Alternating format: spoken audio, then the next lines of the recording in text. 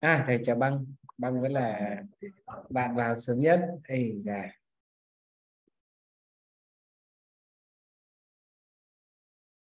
rồi, kế tiếp thầy chào nguyên nhé.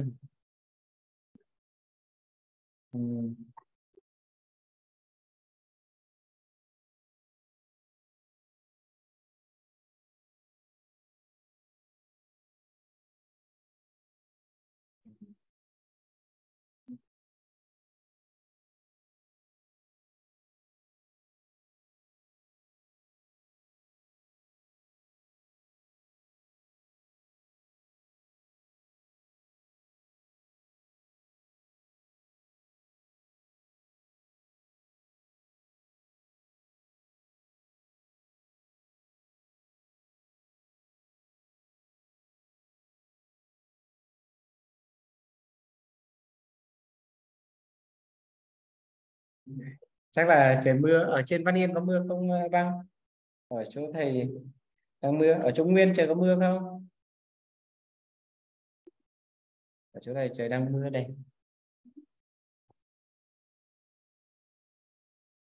Và chờ một chút ờ, đợi các bạn vào nhé. Rồi băng có hỏi là cái mấy bài cuối kết quả nó ra ừ. là theo hàng hay cột, để thầy xem lại cái chưa kịp uh, thêm test vào cho cái file này.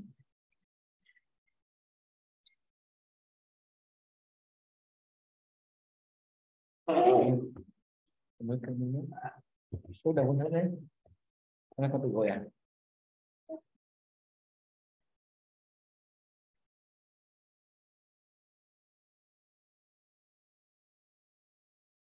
À.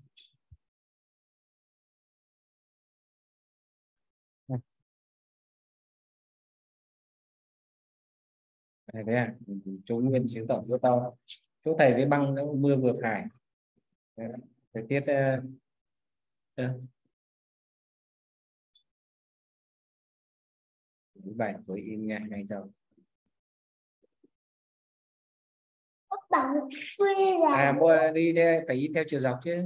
Người ta đưa ra vị trí mà băng. Thì mỗi cặp vị trí nó nằm ở trên một hàng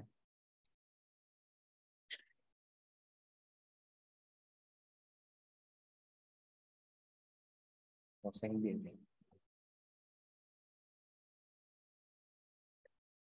Bố ơi, Tết em đâu rồi? Ở cửa nhà vệ sinh mà. ý nào để thế cho nó ngầu thầy chưa thêm vào được để cho mọi người khó dự đoán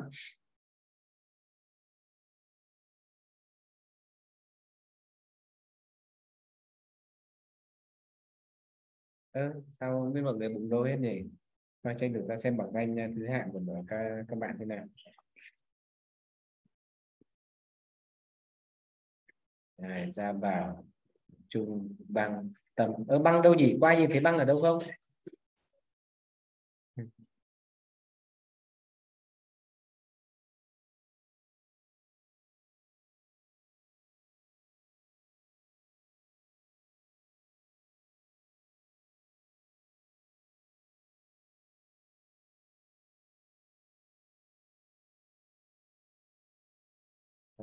Nguyên. À, chào Trần Gia Bảo nhé.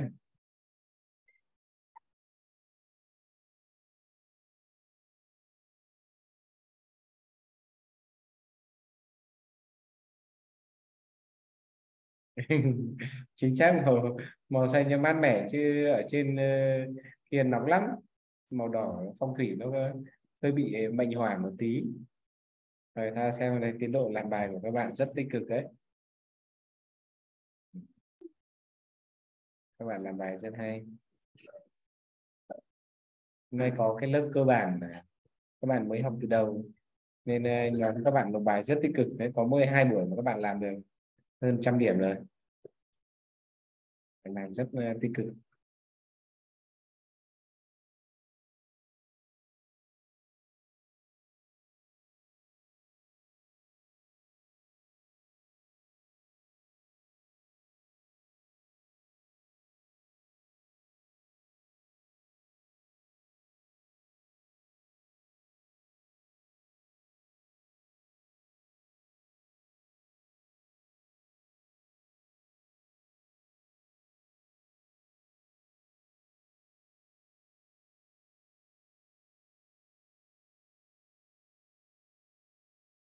À, tranh thủ chờ lúc bạn à, các bạn vào giờ có băng ra bảo à Tuấn Anh cũng đã vào rồi. À, ôi giời ơi.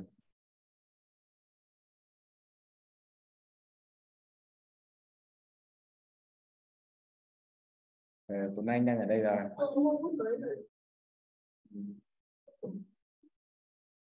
Rồi tranh thủ là các bạn vào người ta xem ở buổi trước chúng ta đang à các em nào mà làm xong cái file đây ấy rồi thì các em sẽ tiếp tục chuyển sang cái file kế tiếp nhé. Đây mình muốn trước mình xong file đây chín nhỉ? Tôi còn đâu bốn đứa chạy đâu mất rồi?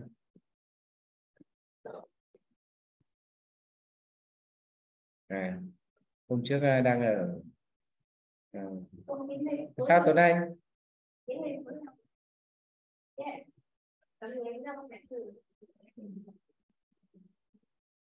Tối nay hỏi gì đi hỏi đi tối nay hỏi bài năm bảy à? Ok.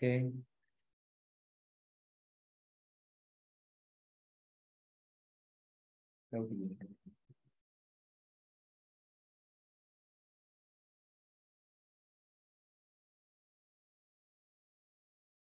đây, Tuấn Anh ơi, cái chỗ này em sửa lại nhé, em ngược lại này. Nếu u là số chính phương thì ta return true ngược lại thì thì ta return false.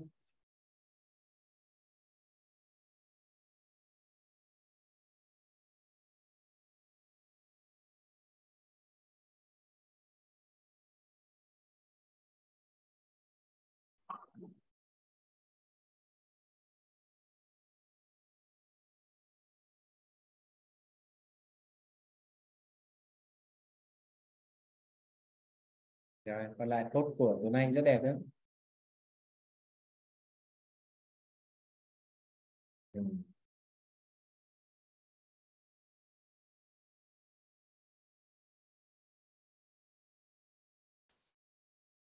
À, băng làm ờ, các bài kế tiếp đi nhé. Thế các bạn nào làm xong tập bài này rồi thì chuyển sang làm bài tập kế tiếp.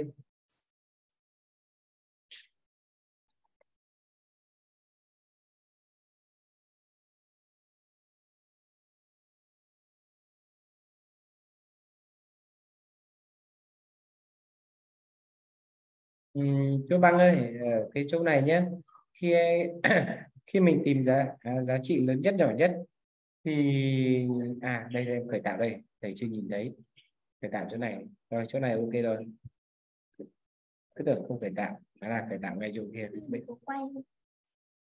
nó tự đi có không? Rồi rất tốt.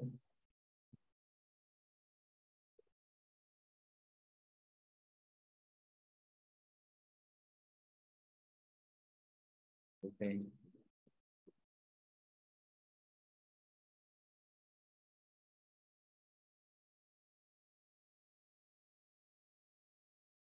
xem bài.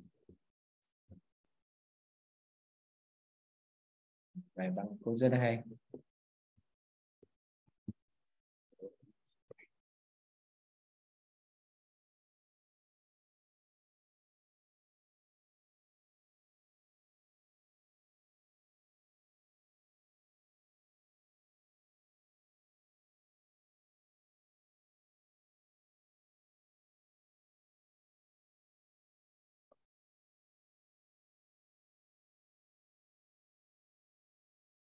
Okay.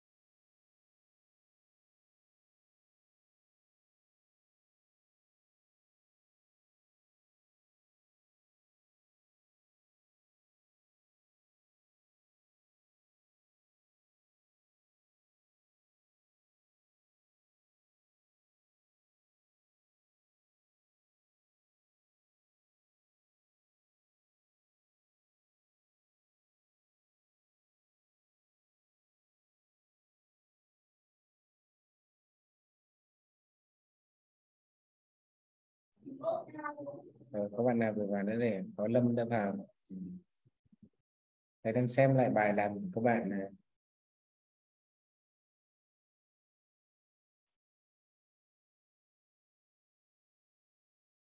Rồi ta xử lý tiếp nhé. Hôm trước ta đã xem bài đếm số lượng phần tử. Rồi thì hôm nay ta sang à, tiếp bài tìm phần tử nhỏ nhất. Các bạn nào đã hoàn thành được xong bài của cái file đây 9 các bạn chuyển sang file đây 10. File đây 10 nó ở trong nhóm có nhé. Trong lúc ta sẽ công tác làm thì chờ các bạn khác vào làm tiếp. Ở sang bài kế tiếp là bài tìm giá trị nhỏ nhất đề bài là cho một cái dãy số nguyên dương, tìm giá trị nhỏ nhất của cái dãy số này vậy thì với với cái bài toán tìm giá trị nhỏ nhỏ nhất, thì khi đó ta sẽ có cái nhu cầu khởi tạo cái giá trị ban đầu của, của cái biến kết quả. Vậy thì ta có bước một của thuật toán. Ta sẽ thực hiện là à, nhập à, đọc dữ liệu. À, bước hai à, ta sẽ thực hiện khởi tạo cái biến kết quả. Và bài này là đi tìm à, giá trị nhỏ nhất. Do đó ta khởi tạo cái biến kết quả bởi một cái giá trị vô cùng lớn. Ta có giá trị 129 bạn nào dùng int max cũng, cũng được. À, sau khi khởi tạo xong rồi thì ta mới bắt đầu sang bước thứ ba bước, bước, bước ta duyệt. À, trên thực tế như thế này để tìm được giá trị nhỏ nhất ta sẽ so sánh tất cả các cặp các phần tử này với nhau. Thì trong cái quá trình so sánh đấy thì ta sẽ lưu lại cái thằng bé bé nhất tới cái thời điểm mà mình so sánh. À, tuy nhiên như thế thì nó không không thực sự hợp lý và cái kết quả nó có thể là không chính xác với nhiều bộ test do đó ta sẽ nên quan niệm rằng để tìm được giá trị nhỏ nhất ta xem phần tử đầu tiên là phần tử nhỏ nhất. Nên hoặc là ta có thể khởi tạo nó bằng z bằng thằng a1 à, ờ, cái giá trị nhỏ nhất thông thường thầy hay gọi nó là thằng r min thì đúng không? Ta khởi tạo nó bởi một giá trị vô cùng lớn. Sau đó ta sẽ thực hiện duyệt từ đầu dãy số cho tới cuối dãy số. Nếu cái thằng nào mà bé mà lớn hơn thằng à, bé hơn thằng r min thì nếu thằng nào mà bé hơn thằng r min thì thực hiện công việc cập nhật bằng chính thằng đấy. Cái chỗ này thì ta thể hiện ra nó rất rõ ràng như thế này. Duyệt từ đầu dãy số đến cuối dãy số. Nếu a r min mà lớn hơn ai biểu thức điều kiện này mà đúng thì chứng tỏ thằng ai mới là thằng bé hơn và khi ai là thằng bé hơn thì điều đó chứng tỏ cái giá trị bé nhất tại tới thời điểm này phải là thằng ai, chứ không phải là thằng Rmin trước đó. Vậy thì mình gắn Rmin bằng ai? Chạy xong ra công việc này, cái ta thu được là Rmin là kết quả của bài toán. Vậy thì ta đưa thằng Rmin ra. Ở cái bài này thì ta áp dụng theo cái mô hình bài toán đó là ta ban đầu ta khởi tạo một cái giá Rmin bởi một giá trị vô cùng lớn để trong lần so sánh đầu tiên thì thằng Rmin nó sẽ cập nhật với thằng a1 sau đó nó mang thằng Rmin này so sánh lần lượt với các thằng a2 a3 cho đến hết. Thằng nào mà bé hơn nó thì thằng đó mới là thằng Rmin thì ta gắn Rmin bằng thằng đó.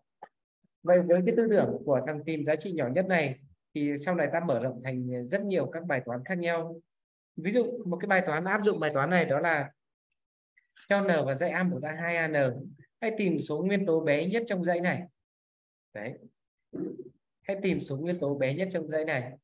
Vậy thì ta sẽ tôi chỉ là chờ thầy tí nhé có cô giáo em hỏi.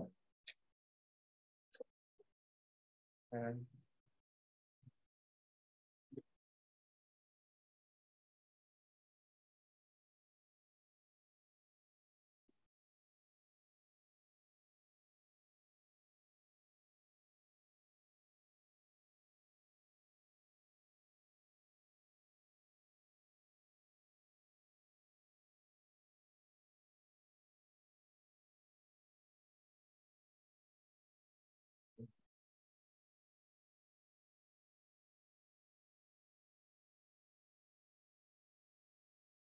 và cái linh học này ta gần như là cố định các em nhé. À, nên ờ, các em cứ vào học. À, thỉnh thoảng các bạn cũng có thể vào các cái khoảng thời gian khác thì sẽ thấy cái đường link này là của lớp học khác. Các em vào học cho đỡ buồn nhé. Rồi à, ta có cái như sau. Như vậy thì ta sẽ thực hiện cái công việc là à, tìm được cái, cái, cái quay lại cái bài toán ứng dụng là tìm giá trị trong một cái dãy số tìm số nguyên tố nhỏ nhất trong dãy số đó. Vậy thì về bắt đầu ta khởi tạo ờ, uh, rmin bởi một cái giá trị vô cùng bé à, vô cùng lớn. Sau đó ta thực hiện duyệt qua tất cả các số. Nếu a nếu r min lớn hơn thằng ai và ai là số nguyên tố thì ta cập nhật thằng ai ta nhé ta thêm cái điều kiện và ai là số nguyên tố thì ta gắn rmin bằng thằng ai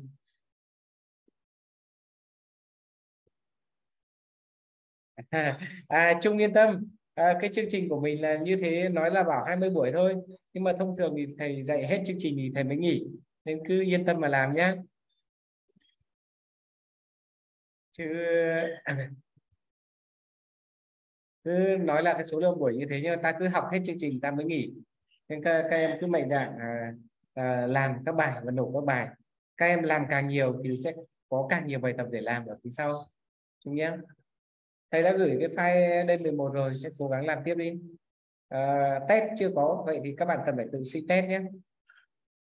Uh, trên server hiện nay chưa có test chấm uh, của cái tập bài D11 thầy chưa nạp vào kịp nên uh, các em cứ làm chạy thử khi nào thầy báo có test thì thầy, các bạn tranh thủ spam máy cần lực nhé rồi quay trở lại cái bài toán số 5 khi nãy thầy vừa chia sẻ với các bạn một cái điều rất uh, bí mật và vô cùng quan trọng đó chính là trong một cái dãy số tìm số thỏa mãn điều kiện nhỏ nhất.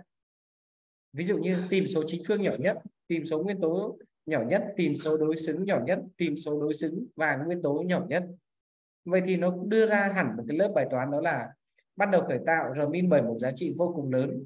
Duyệt chạy từ đầu dãy số đến cuối dãy số. Nếu thằng r min lớn hơn ai và ai thỏa mãn điều kiện bài toán thì cập nhật thằng Gmin nhé. Và ai thỏa mãn điều kiện bài toán thì cập nhật admin thầy chào anh Minh bây giờ anh Minh đã xuất hiện và lợi hại như xưa. Tại sao lại có hai anh chung à có cả đâu để để xem nào. Ừ, thầy thấy vẫn thấy có một anh chung mà nhỉ? Rồi mọi người đã vào đủ rồi ta tiếp tục nhá. Bây giờ thầy cho mình đang làm bài uh, nhỏ nhất à, tìm à, bài số 5 bài tìm giá trị nhỏ nhất bài 59 các bạn à, làm luôn nhé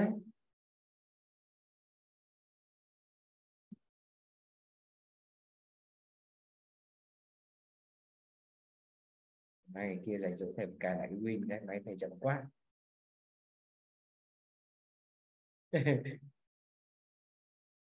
lắc quá à. ừ, có khả năng là máy của thầy bị chậm thế nào ấy từ từ nha để phải đi xử lý mấy cái.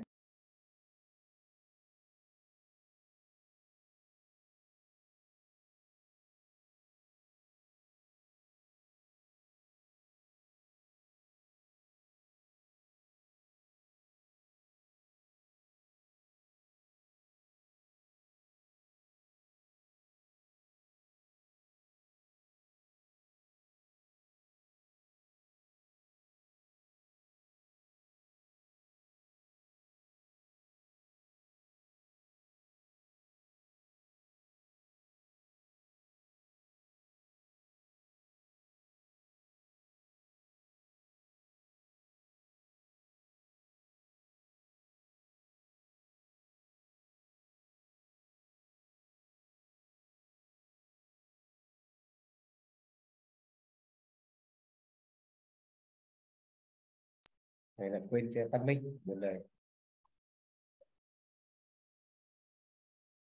à ừ cái ghế này thầy đầu tư gần chết đấy. Mới mua được đấy. Thầy giờ mang hết quỹ đen của thầy đi để thầy mua. Ừ.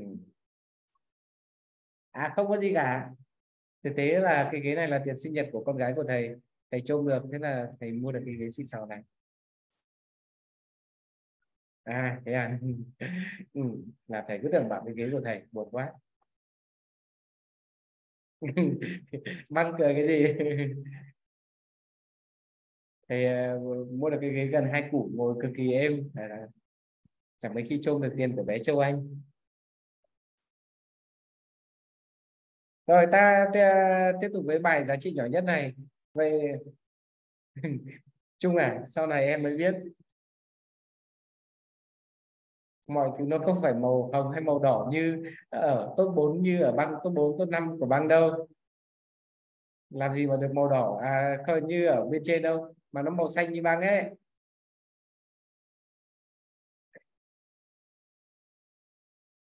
E hèm gì đập chết e hèm gì mình ờ, đứng làm gì bị đập thì không có dám kêu. À.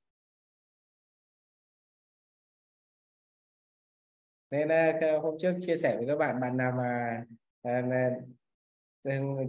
à, tôi chưa được cái chỗ này. Rồi ta làm tiếp bài 59 nhá. À, bây giờ thầy kiểm tra xem bài 59 tới thời điểm này có những bạn nào đã làm tốt bài này rồi. Hiện nay đã có 5 bạn nộp được bài 59 à có 6 có 6 bạn. Và 6 bạn tốt đầu trừ bạn ở giữa. Rồi như vậy ta có Bảo Minh Trung Ờ, băng Nguyên và Huy rồi. Như vậy còn à, các à, bạn à, còn lại thì ta sẽ cốt luôn bài 56 bây giờ bài à, bài 59 ở bài 59 chứ nhỉ?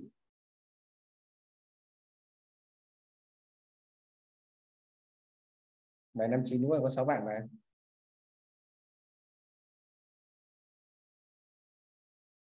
Rồi ta sẽ cốt nhanh cái bài này nhé để ta À, có cái. Các bạn nào làm xong bài 59 rồi thì các bạn chuyển tiếp sang bài 60 vừa rồi thầy đã thảo luận là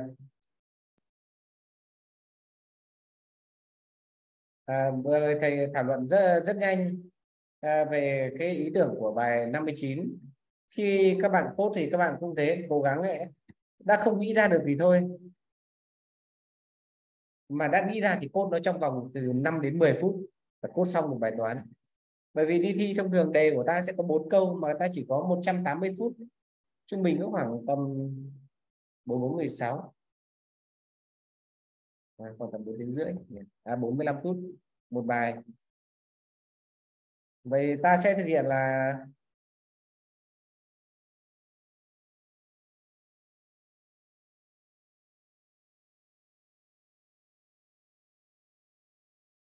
Nợ mắc thì thông thường ta sẽ có khoảng tầm ờ, 10 mũ 5 ờ, cộng 1 nhé. 10 mũ 6 ờ, cộng 5 được. Rồi. Và ta khai báo thằng Rmin là kết quả của giá trị nhỏ nhất của dãy số. Ta Ctrl L. À, thông thường cũng giống như các bạn ngày xưa khi mà thầy bắt đầu học lập trình ấy thì những cái bài nào không nghĩ ra thì thôi chứ nhưng mà đã nghĩ ra thì cô thì chỉ có mất à, mấy phút khó khăn nhất là phần nghĩ và chứng minh được thuật thuật toán đó là tối ưu chứ còn cốt thì phải nhanh. À, đó cũng là lý do tại sao mà à, ta hay có cái cuộc đua typing ranker đấy. Để cho các bạn gõ thật nhanh.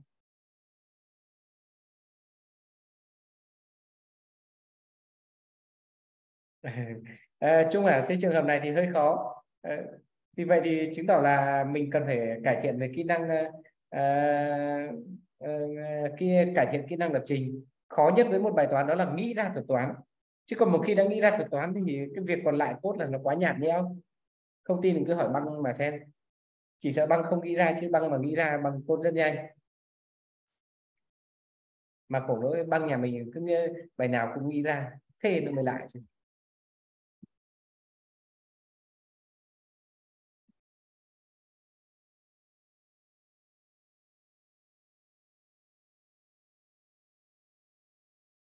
Rồi.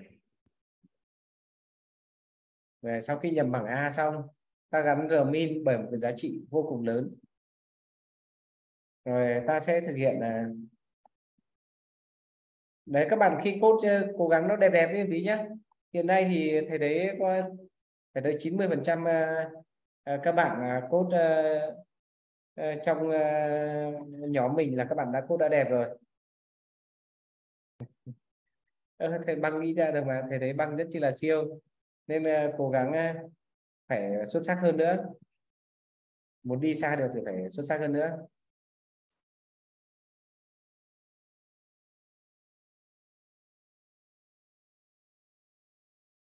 À, thầy hôm trước thầy mới chưa băng ở năm nay thi học sinh giỏi cấp tỉnh của khối 12 nếu mà băng mà đạt giải nhất thì sẽ có những điều vô cùng tuyệt vời khi xảy ra phía sau nên phải cố gắng nỗ lực từ giờ đến lúc thi còn đúng khoảng tầm 2 tháng. Cố lên.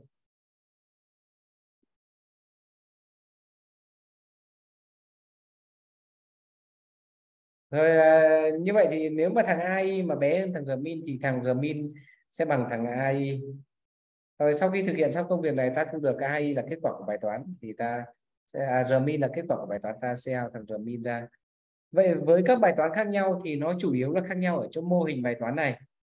Ví dụ như ở đề thi cấp tỉnh, nó có có thể có một cái câu rất đơn giản như khi nãy thầy vừa đề cập ở mức độ câu 2 cho một dãy số, tìm số nguyên tố nhỏ nhất trong dãy số.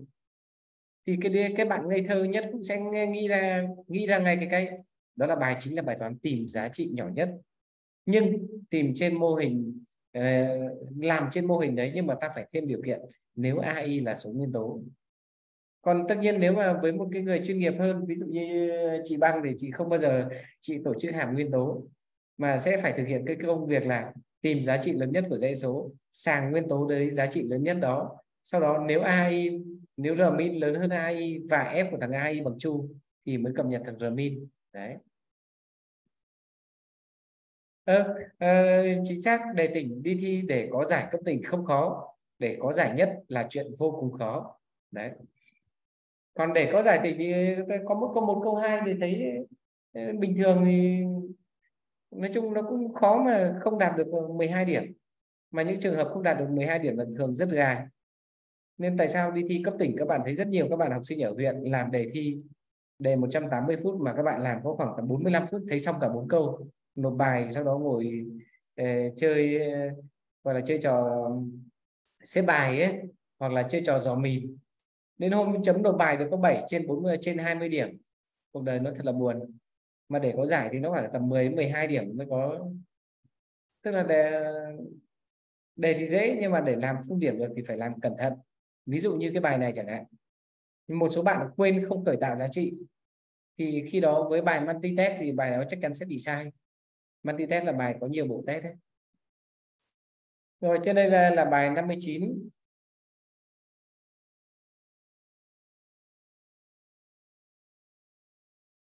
Ờ, vừa cốt vừa ờ, nói chuyện với các bạn thì để các bạn ờ, có một cái kỹ năng này. Là mình không nghĩ ra thôi, nghĩ ra phải cốt thôi.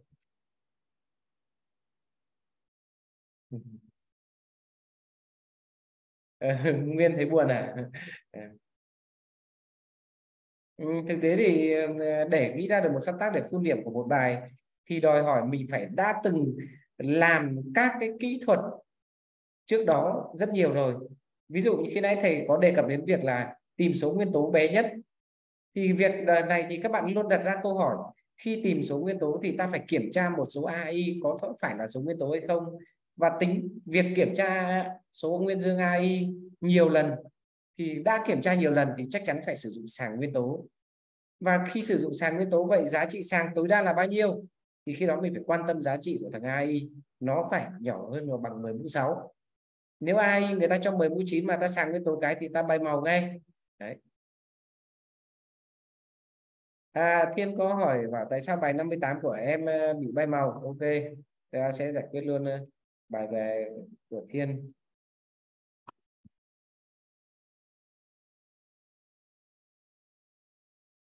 Thiên chủ nào? Hmm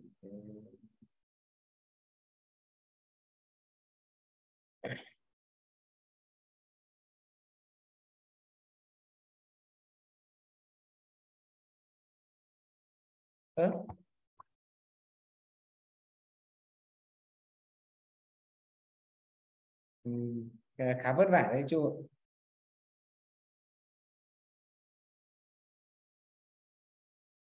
Ừ, đến khoảng à, tầm à, 20 tháng 9 là phải xong à, xong được cái nội dung đấy. Thì mê à cái nội dung của cái lớp nâng cao là để thi lập đội tuyển cấp cấp quốc gia nhé nhưng còn thi cấp tỉnh thì nó hơi quá sức. À có chữ băng yên tâm sẽ có. Phía sau còn rất nhiều để nào ta đang à, vừa rồi nguyên hỏi bài nào à thiên hỏi bài nào nhỉ? Bài 58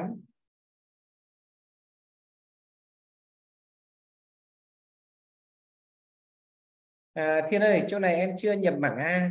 Bởi lẽ khi em for i chạy từ 1 đến n em gắn red bằng không sau đó em xây in thằng ai thì trên thực tế cái câu lệnh gắn red bằng không nó được thực hiện lần n lần chứ không phải câu lệnh là xây in thằng a mắc. vậy chỗ này em đang gặp một uh, vấn đề đó là việc đọc dữ liệu bị sai. Vậy thì chỗ này em cần phải sửa lại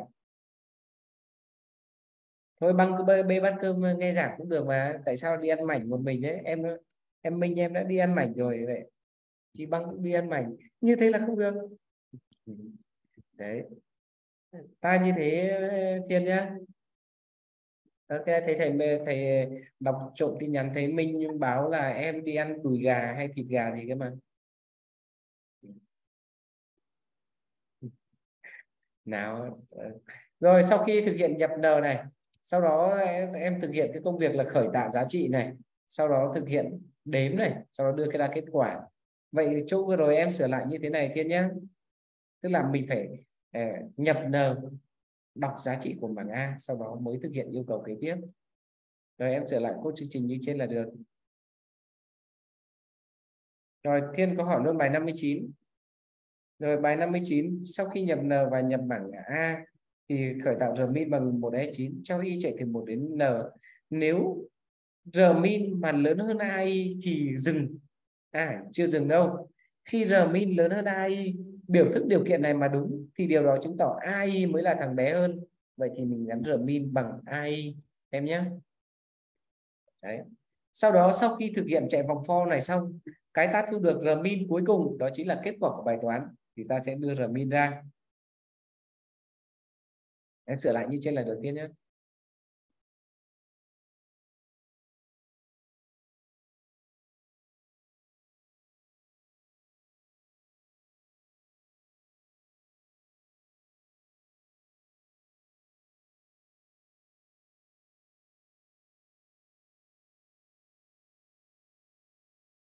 à cái lớp IT thầy đang hưởng chưa xếp được lịch này. hiện nay mới có ba bạn đăng ký cái lớp đấy.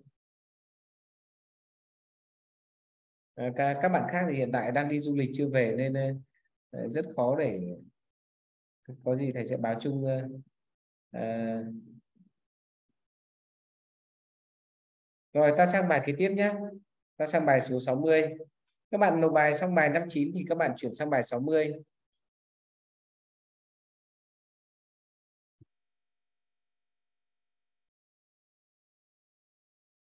Ở bài số 60 là một bài rất hay đếm số lượng phần tử đạt giá trị lớn nhất.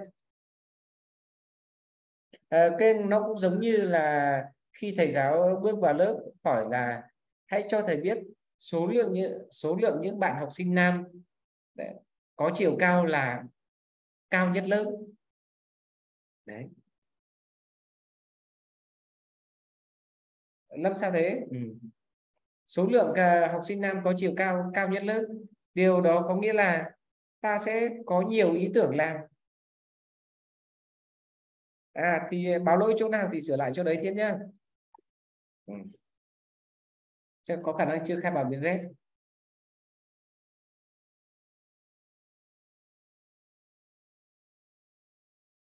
Okay.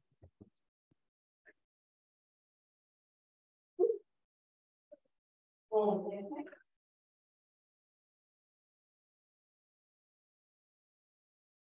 Rồi, à, vậy thì à, với cái việc này thì các bạn nghĩ một cách ngây thơ nhất ấy thì các bạn luôn nghĩ được rằng là để, để đếm được số lượng phần tử đạt giá trị lớn nhất thì có bạn bảo uh, trong giờ chào cờ để biết được có bao nhiêu bạn có chiều cao hoặc cao nhất lớp thì em sẽ sắp xếp các bạn này theo chiều tăng dần hoặc giảm dần. Nếu sắp xếp giảm dần thì thằng cao nhất nó sẽ đứng ở đầu hàng. Nếu sắp xếp tăng dần thì thằng cao nhất nó sẽ đứng ở cuối hàng. Vậy thì ở đây bạn sẽ nghĩ ngay đến một cái ý tưởng là, là bước một là ta sắp xếp dãy số thành dãy tăng. Sẽ không ngăn bàn luôn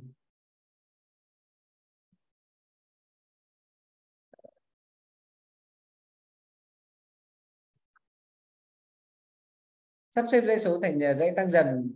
Vậy để sau khi sắp xếp dãy số thành dãy tăng dần thì những thằng cao nhất nó sẽ đứng ở cuối hàng đúng không? Những thằng cao nhất nó sẽ à, chính xác. À, Nguyên hỏi nhìn thấy đầu nào? Nhưng nếu có nhiều thằng đầu bằng thằng cao nhất thì khi đó ta mới cần phải đếm. Đấy. Vậy thì ta sẽ thực hiện bước một sắp xếp dãy này thành một dãy tăng dần sau đó ta sang bước thứ hai. Ta sẽ thực hiện là duyệt từ cuối dãy về đầu dãy. Đấy, mình duyệt y chạy từ n về một. Khi khi đó nếu cái thằng phân tử thứ y mà bằng thằng an đấy. nếu thằng thứ y mà bằng thằng an thì ta nhận thấy rằng khi ta sắp xếp nó thành một dãy tăng thì thằng cao nhất nữa cao nhất lớp mình nó sẽ đứng ở cuối hàng. Và khi đó, thằng đó chính là thằng thứ an và thằng nào mà bằng thằng an thì đó chính là thằng cao nhất lớp. Bài toán người ta hỏi là đếm số lượng phần tử đạt giá trị cao nhất lớp. Vậy thì ta sẽ thực hiện for từ cuối dãy về đầu dãy và thực hiện công việc. Nếu thằng ai mà bằng thằng an thì ta tăng được đếm lên. Đấy. thực hiện xong cái này thì ta thu được.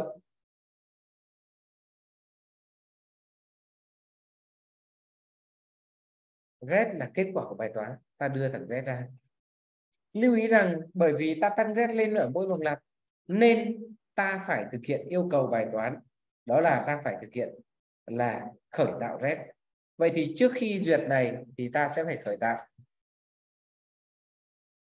các bạn lưu ý nhé, khi tính tổng thì ta khởi tạo Z bằng 0 còn khi tính tích, ta khởi tạo Z bằng 1 và ta thực hiện yêu cầu như trên. Vậy thì để sắp xếp một dãy số thành dãy tăng dần, thì thầy giới thiệu luôn câu lệnh. Ta có sort mảng A cộng 1 tức là sắp xếp mảng A từ vị trí thứ một cho đến vị trí thứ A cộng N cộng, sắp xếp mảng A có N phần tử. Thì ta có cái câu lệnh này để sắp xếp mảng A có n phần tử thì ta sử dụng thủ tục sort A cộng 1, A cộng N cộng 1 nhé. Tức là sắp xếp mảng A từ vị trí thứ một cho tới vị trí thứ N. Nào các bạn tập trung nhé, không phải chat với nhau lại ờ, quên mất là ta đang làm bài số 60 nhé. Rồi, bây giờ ta sẽ ờ, chụp và các bạn bắt đầu cài đặt luôn.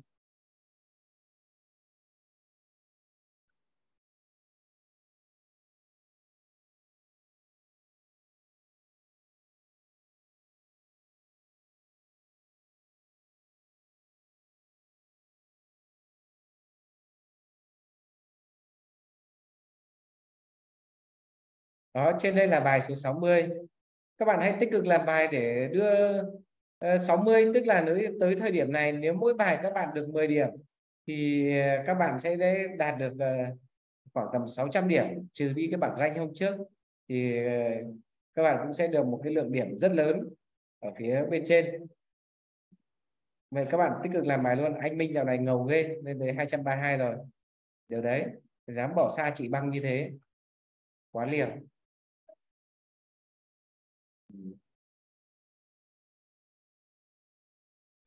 băng ăn một cách thần tốc.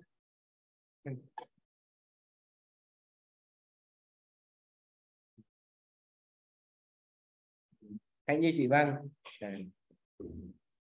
rồi, ok. Rồi, như vậy thì ta nhận thấy là bài số 60 ta sẽ xem mọi người làm đến đâu nhá. Thế mọi người cười rất tươi, nhưng mà ta xem bài 60 các bạn đã làm đến đâu rồi bài 60 hiện tại đang có 6 bạn làm. À có 6 bạn nộp. Và cái và có một bạn đang còn bị fail. À, không thấy file kết quả đứa nào mà gà thế nhỉ? Đứa nào nộp không thấy file kết quả đấy? À, ừ. đâu? À anh Minh à? Ờ, đó là câu chuyện buồn thầy cứ tưởng không phải anh Minh. Ừ. đâu nào bài số 60 các bạn hãy tích cực làm bài số 60 theo tư tưởng như trên nhá rồi, ta có khoảng 5 phút để cài đặt bài này.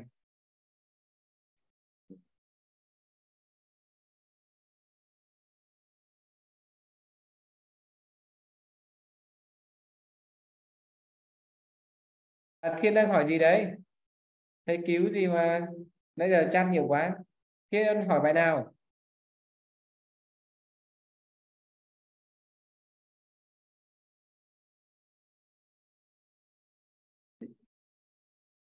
Hai bài làm hai bài nào? Ta có 100 bài cơ mà. Rồi, cứu hộ. Rồi, như vậy ta có bài 58 59 Thiên có đang ờ, đề cập ờ, đến đây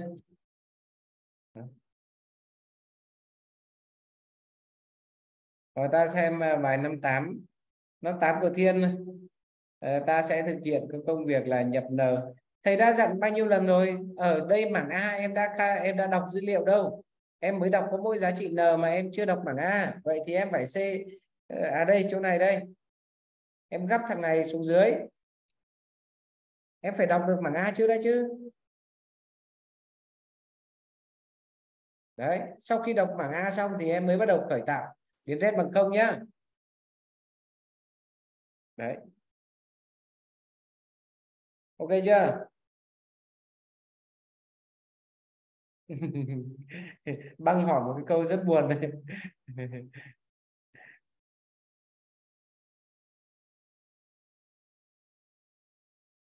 rồi ta không được uh, phân biệt giới tính như thế. Ta sẽ tiếp tục luôn nhá. Vừa rồi thiên có hỏi nhá chuyển thằng CI thằng AI đọc dữ liệu cho nó dứt khoát vào. Sau đó ta mới khởi tạo giá trị.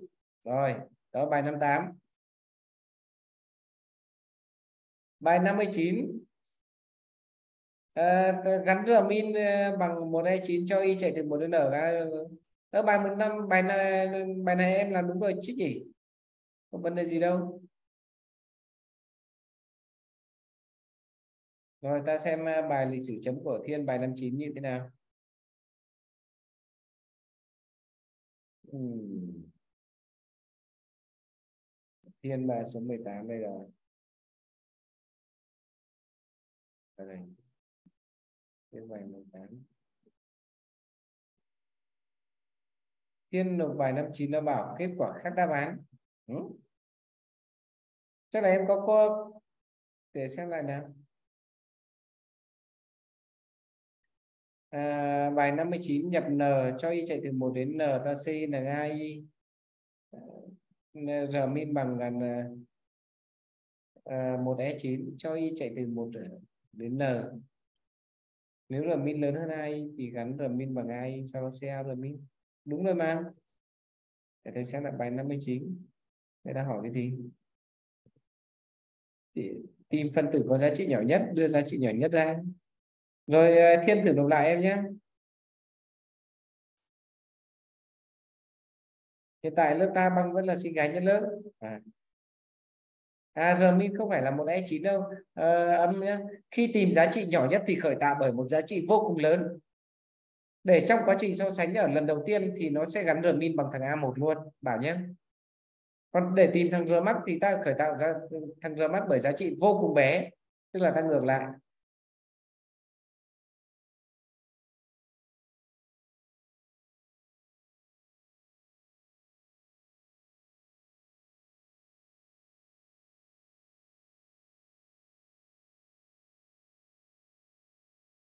Rồi mọi người nộp bài 60 nhá. Hiện nay bài số 60 đang còn rất nhiều các bạn nợ nần.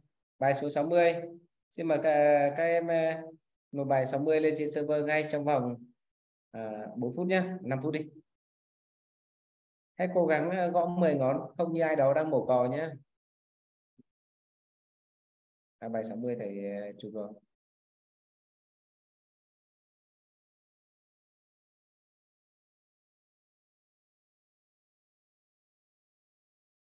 Ừ.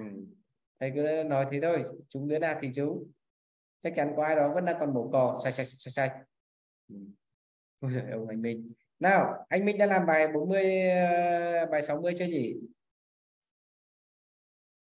Nào xin mời các bạn khác nhá. Thiên cố gắng lên. Của anh nhá.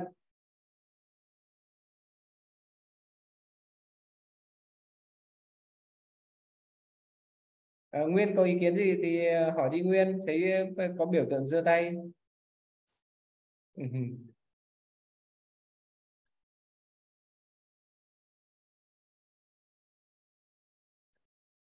Bảo yên tâm hai ba hôm nữa các em lớp cơ bản các các bạn lớp cơ bản sẽ bay cho Bảo bay màu.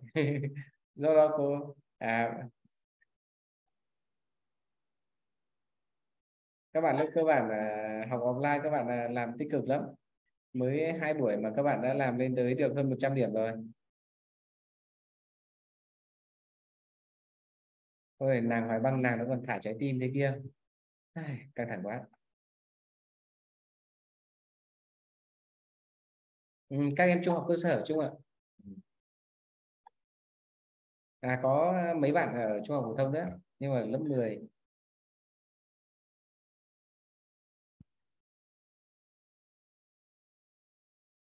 rồi ta sẽ tiếp, tục nhá. Bài số 60 để ta xem lại. Các, các bạn côn nhanh đi.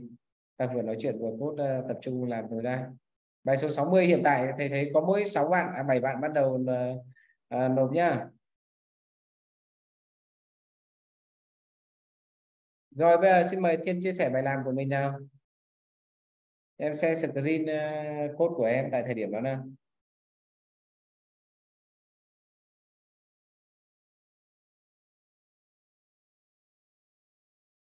À, xin mời Thiên chia sẻ.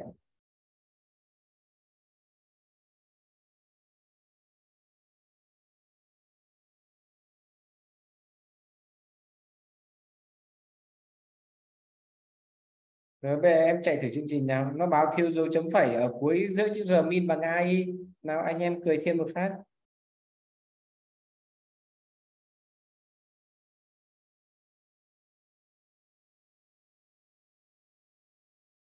Lưu ý thiên nhé à, ờ, khi trước khi nộp bài ờ, thì em phải ờ, sau thằng nếu r min lớn hơn ai em bỏ dấu chấm phẩy đi. Em phải chạy thử trên máy tính của mình chạy nó đúng nó ra được kết quả như test đề bài sau đó nghĩ ra một số test sau đó chạy thử chương trình thấy nó đúng được một số test. Thì khi đó ta mới nộp bài lên trên server nhé cái server của thầy thực sự là đến bây giờ thầy cũng hơi quan ngại về một chỗ đó là các em có một cái thói quen là thói quen thử chương trình thử xem mình làm có đúng không? Và đi thi thì mình lại không được thử. Đấy đây là một điều vô cùng nguy hiểm. Nên ờ, có thể trong một thời điểm nào đấy thì thầy sẽ uh,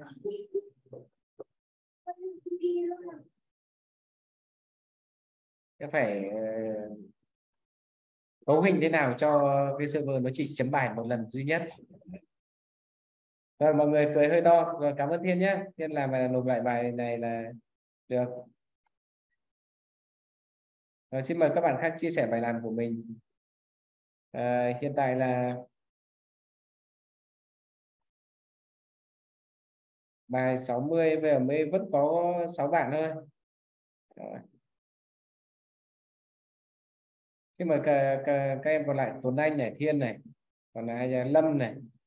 Lâm bảo hôm nay thế đi đâu mà không có được gì thì ngồi học nên không có được.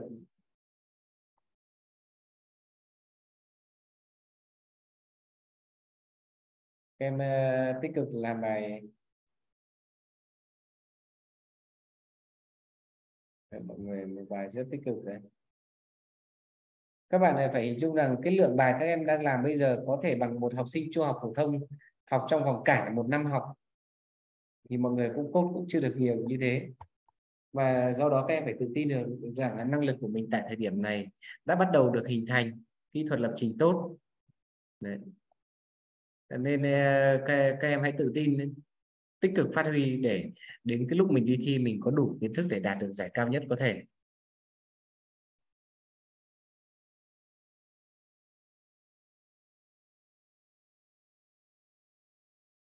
Rồi các bạn làm nộp bài 60 nha. Nãy giờ thấy có thêm một bạn nữa nộp bài 60 ai? Ai? Ai? Ai? À đấy, Hoàng Gia Bảo đã nộp bài 60. Có đúng như ờ, Trần Gia Bảo bảo thì như là Hoàng Gia Bảo nhà mình rất chi là hướng nội.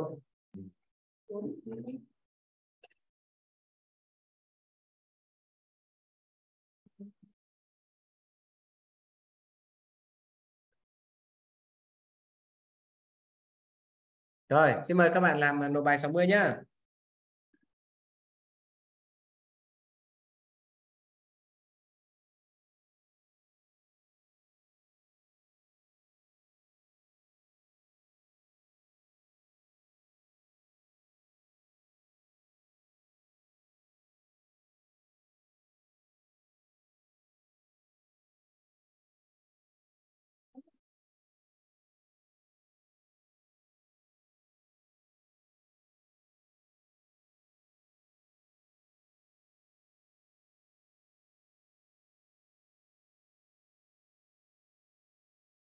Cũng có sự.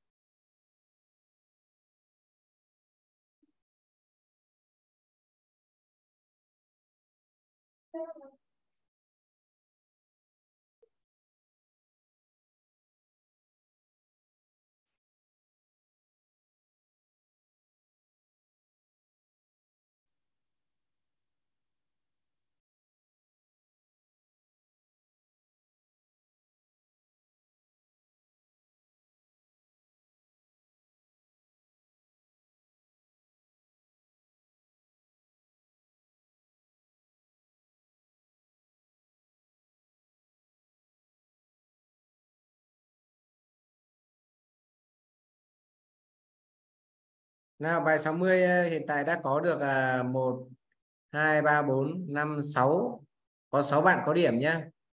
Ta có 9 bạn ở đây. Trừ có mỗi Lâm bảo là hôm nay đang bận thì không cốt được.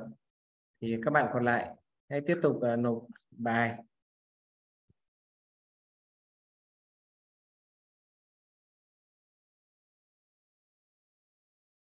Rồi ta sang ờ, tiếp uh, còn một phút nữa. À ừ. thế mai xử lý luôn hoặc là cần cần thiết thì nhờ, nhờ thầy hỗ trợ Unjaview từ xa nhé để thầy... rồi ok Tuấn Anh cố gắng lên. Thi thầu đến nơi rồi. Rồi ta sang à, tiếp nhé rồi, à, còn mấy bài này ta đánh nhanh thắng nhanh cho nó xong luôn. À, bởi vì ta đang làm à, bài tập về mảng một chiều là làm quen với cái cách cách duyệt trên mảng. Với cái với cái cách duyệt trên mảng thì ta sẽ có một cái xu thế duyệt rất hay đó là uh, duyệt từ đầu dạy đến cuối dạy dạy từ cuối dạy đến đầu dạy. Đấy. Rồi vậy thì à, ta sang bài kế tiếp bài số 61 à, ở bài số 61 thì à, ta có đề bài như sau. Cho số nguyên đưa dương n và dãy a1 a2 an hãy tính tổng và tính trung bình cộng của các phần tử đấy. Và kết quả là chính xác đến ba chữ số thập phân đối với biến trung bình cộng. Và ở đây thì ta nhận thấy rằng kết quả của nó được viết trên hai dòng. Sau dấu phẩy lấy chính xác đến ba chữ số. Nào, các bạn tập trung nhá. Để ờ, tắt chức năng tra là rồi. Vậy thì ta sẽ bắt đầu tập trung ở cái bài này. Bài này là một trong những bài rất hay. Mà vậy thì ta bắt đầu có thuật toán để làm bài toán này việc tính tổng các phân tử không có gì khó đúng không?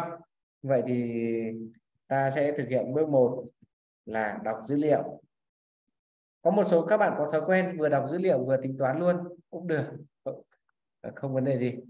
À, có một số bạn thì ờ, làm sẽ đọc dữ liệu xong mới tính toán. À, bước 2 ta bắt đầu thực hiện tính tổng và tính trung bình cộng. À, để tính tổng thì ta sẽ khởi tạo S là tổng thì thầy khởi tạo S khởi tạo bằng không. Ta nên sử dụng các chữ thường thay cho chữ hoa. Sau ta thực hiện duyệt từ đầu dãy số cho tới cuối dãy số và thực hiện yêu cầu của bài toán. Nếu cái thằng ai à không không phải nếu nhầm nhầm ta cộng luôn. Đến thằng đến phân tử thứ y thì s của mình sẽ tăng lên một lượng là bằng ai, s bằng s cộng ai. S bằng S cộng AI ta có thể viết là S cộng bằng AI. Sau đó ta thực hiện bước 3. Ta tính trung bình cộng. Trung bình cộng thầy gọi nó là biến à, P thì nó sẽ là bằng số lượng, bằng tổng tất cả các phân tử, chia cho số lượng phân tử. Sau đó đến bước 4. Ta đưa kết quả, đưa thằng S và P ra. Đấy. Như vậy đó là mô hình của bài toán số 61. Bài toán số 61 ta thực hiện à, rất rõ ràng như trên. Vậy thì à, ở đây thì ta sẽ à, quan sát xem mọi người làm bài 61 như thế nào. Tại thời điểm 61 này thì 1, 2, 3, 4, 5. Bài số 61 cũng mới chỉ có 5 bạn làm. Và vậy thì ở bài 61 này thì ta có cần phải lưu ý cái gì? Thì bây giờ ta nhảy sang ta cốt để các bạn cùng quan sát nhé.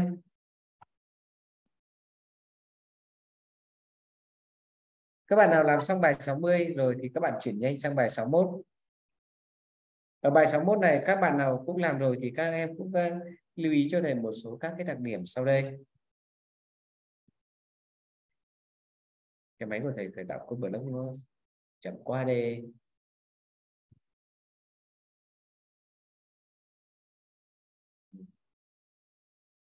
Để sửa lại là nó là thành bài số 61 rồi sau khi nhập n nhập dãy A1 A2 AN bây giờ thầy thực hiện công việc như sau. À, bài này không phải tìm thằng R min thầy khởi tạo tính tổng S N. À, bây giờ thầy khởi tạo S bằng 0 để thực hiện lưu tổng. Ta thực hiện các công việc là cho y chạy từ đầu dãy cho đến cuối dãy và thực hiện công việc. Khi đó tổng S của thầy sẽ tăng lên một lượng là AI sau đó ta sau khi đó, sau đó ta đã tính được thằng S rồi về ta thực hiện tính tiếp thằng giá trị trung bình.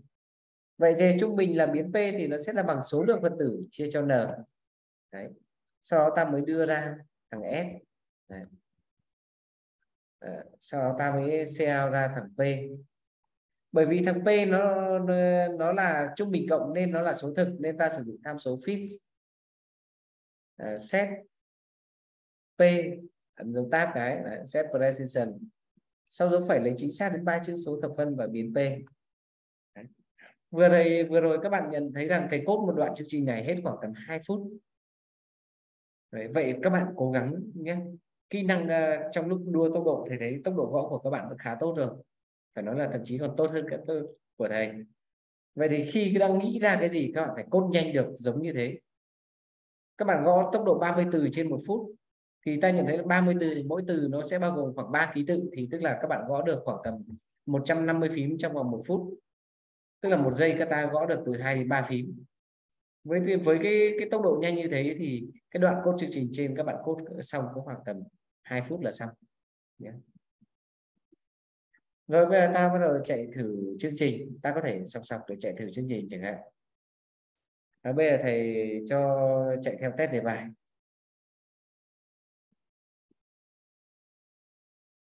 À đây nó bảo biến P chưa khai báo.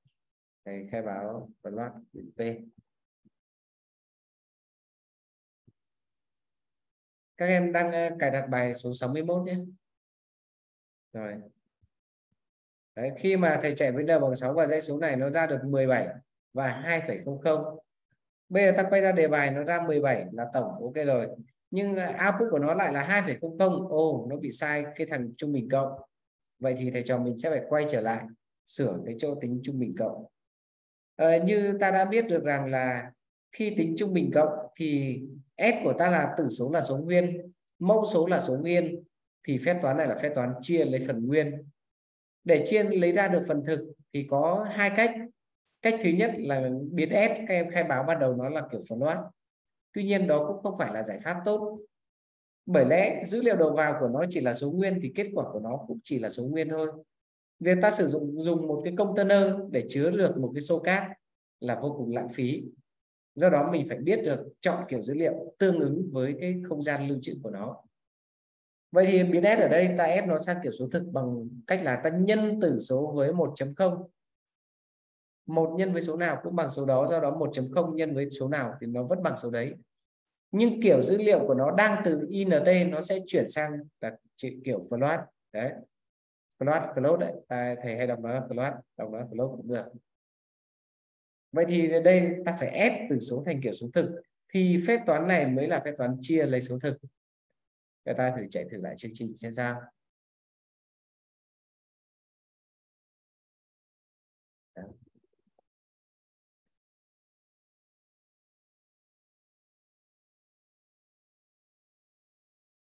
Đấy thì nó ra được 17 và 2,8333 đấy là nó đã ra đúng được kết quả. Vậy thì ờ, như vậy thì ta nhận thấy rằng giữa việc ý tưởng thuật toán mình nghĩ là bước một đọc dữ liệu bước thứ hai khởi tạo s bằng không bước thứ ba duyệt từ đầu dãy số đến cuối dãy số. Đến phần tử thứ y ta đẩy ai vào trong tổng s. Sau đó ta tính trung bình cộng thì bằng là số lượng. Tổng thu được chia cho số lượng.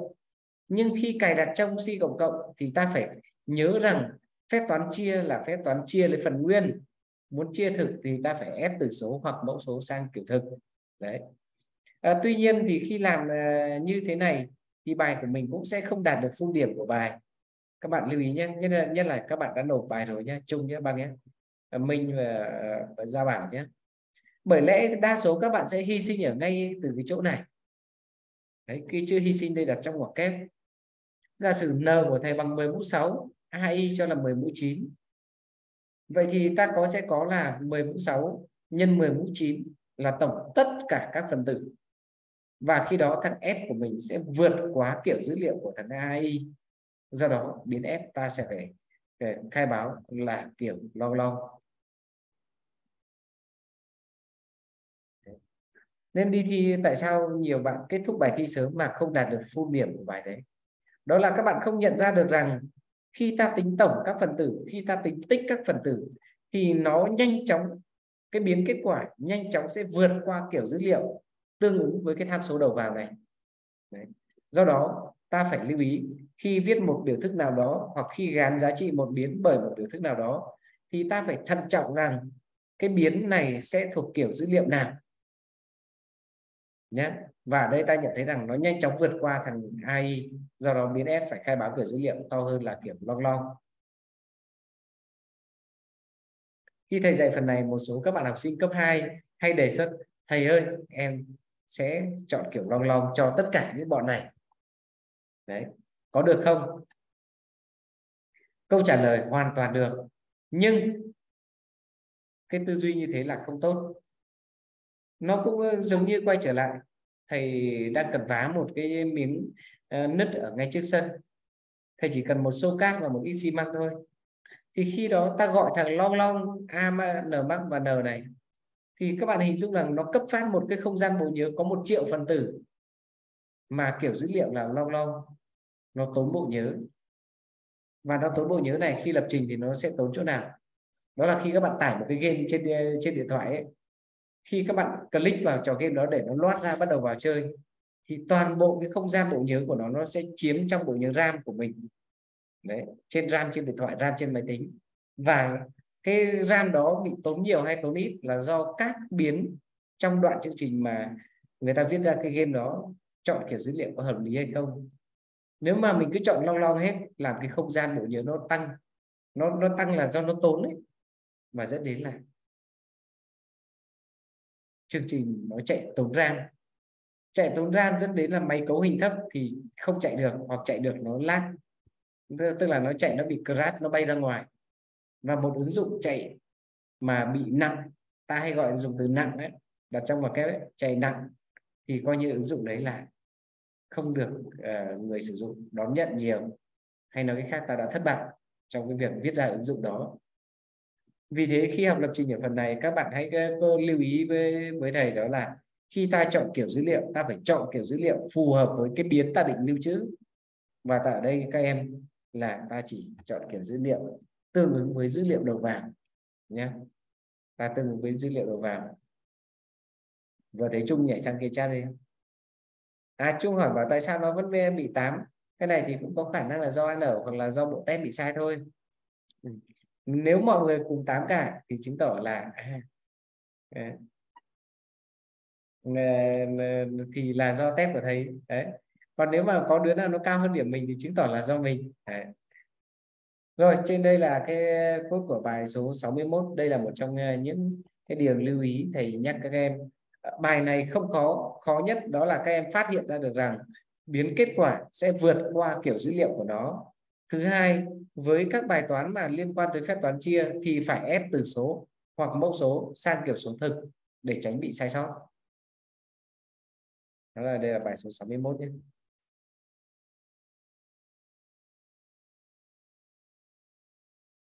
thầy dặn thì dặn thế thôi đi thi vẫn đầy đứa hy sinh mà đầy đứa hy sinh là uh,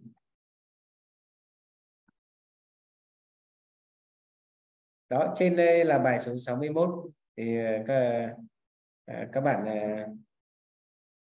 uh, cài đặt nhanh bài số 61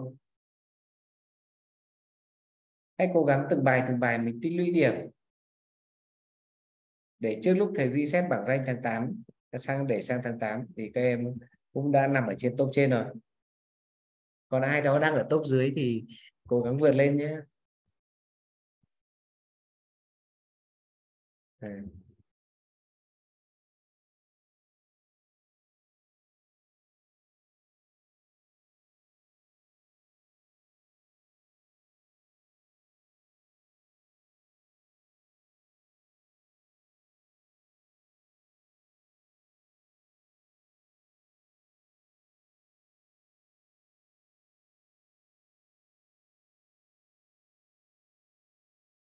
Rồi xin mời các bạn à, cốt bài số 61 theo ý tưởng thuật toán đã được đề xuất. Và bài toán này thì sau này nó sẽ đưa ra thành rất nhiều các bài toán khác. Và tuy nhiên thì ta lưu ý chỉ ờ, ở bài toán này thầy chỉ cần mong các bạn lưu ý là cái uh, kiểu giới hạn kiểu dữ liệu của các biến phải chọn cho nó phù hợp là được.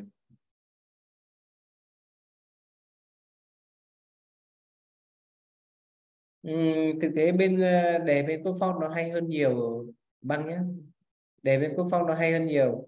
Tuy nhiên thì ta cũng phải có một cái sự khác biệt như thế này. À, đề bên đề, đề, bên quốc phong thì nó lại hay thuộc nhóm đề S hoc tức là nó thuộc là nhóm các cái bài mà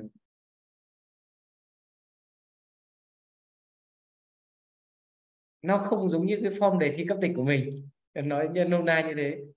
Ờ, ờ, làm trên cốt phóc ưu điểm đó là ta làm bài rất đa dạng ta rèn kỹ thuật lập trình tốt. Nhưng hạn chế là nó hơi đi xa so với cái khung thi học sinh giỏi cấp tỉnh của của tỉnh mình nhé của tỉnh mình. À, tuy nhiên thì do cái thằng cốt phong hiện nay cái lượng bài và do các cái, cái kỳ thi tạo ra nó rất hay. Nhưng mà à, nói chung nó vẫn hơi bị xa rời các cái kỳ thi. Nó hơi bị xa rời các kỳ thi hiện nay.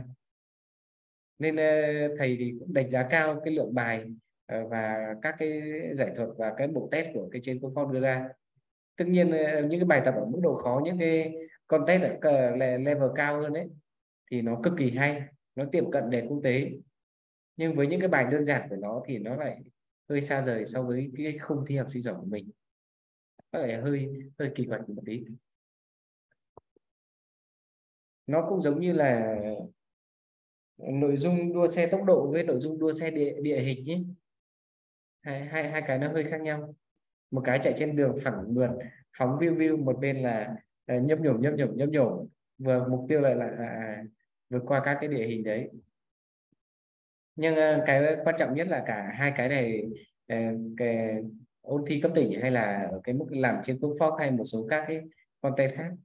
Chủ yếu là nó rèn luyện kỹ năng lập trình tốt cho các em. Và sau này ta có thể sống tốt bởi cái nghề của mình.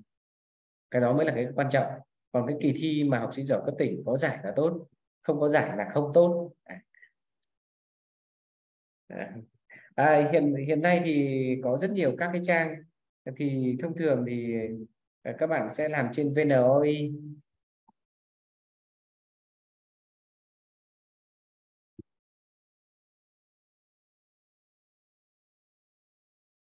Đấy.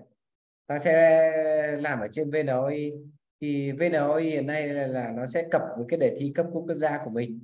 Và đề thi cấp quốc gia của mình thì nó sẽ cập với đề thi cấp quốc tế. Và đề thi cấp quốc gia thì nó sẽ cập với đề thi cấp tỉnh. Đấy, bởi vì nó là một cái đường chiếu song song với nhau. Đấy. Ờ, và tất nhiên là nó phải nó càng lên cao thì nó càng khó nhưng nó cùng đi theo mô típ đấy. Vnoi.info nhé để tránh tình trạng các bạn là, là đi theo nhiều hướng và nó xa rời với cái đề thi cấp tỉnh khi đi thi mình không làm bài. Rồi đó là bài số 61 ừ.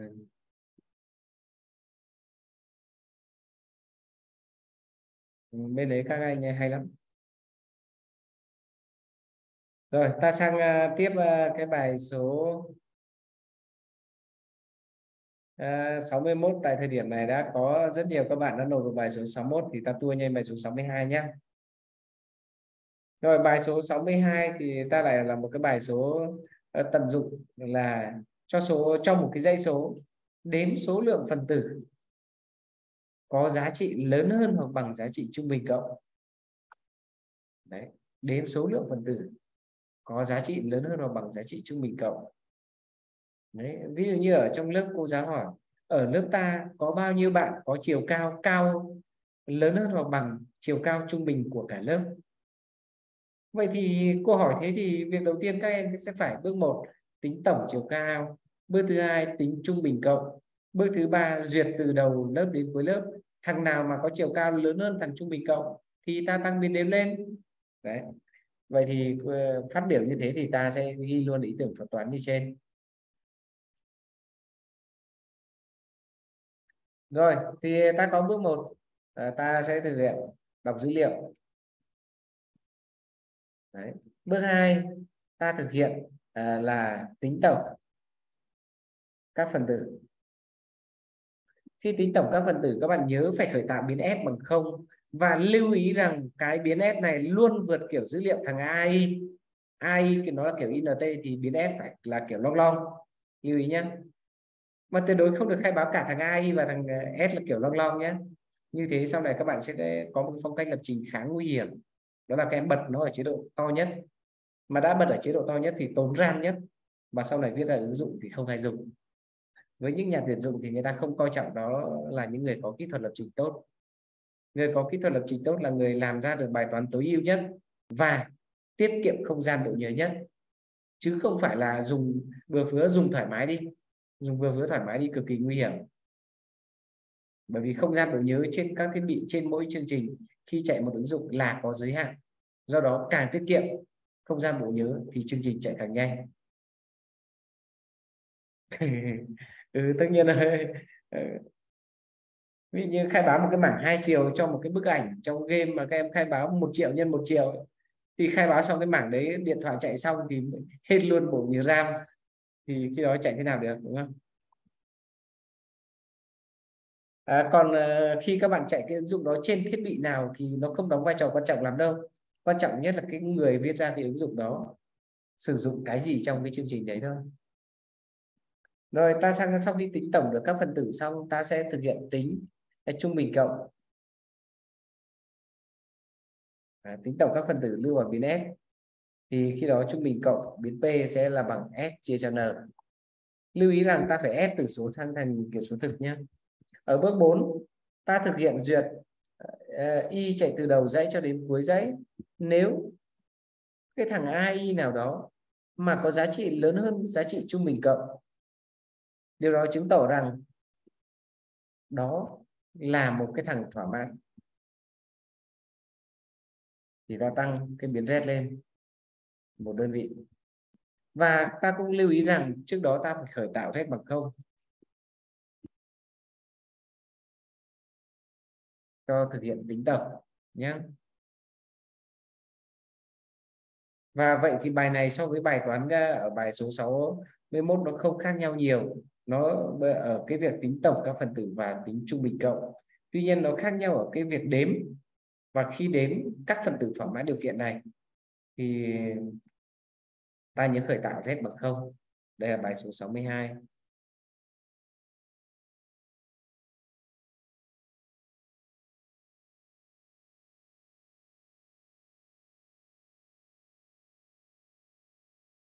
Rồi, xin mời các bạn làm luôn bài số 62. Những bài này nó tương tự nhau thì ta ờ, không cốt mà các em sẽ ờ, chủ động làm. Nói chủ động làm thì thôi. Khi mà cái nhiệm vụ nhiều thì các bạn làm hết hơi đấy, mới làm hết được bài tập. Nhất là sang tháng 7 này các em bắt đầu đi học thêm các môn khác rồi, việc học cũng sẽ vất vả.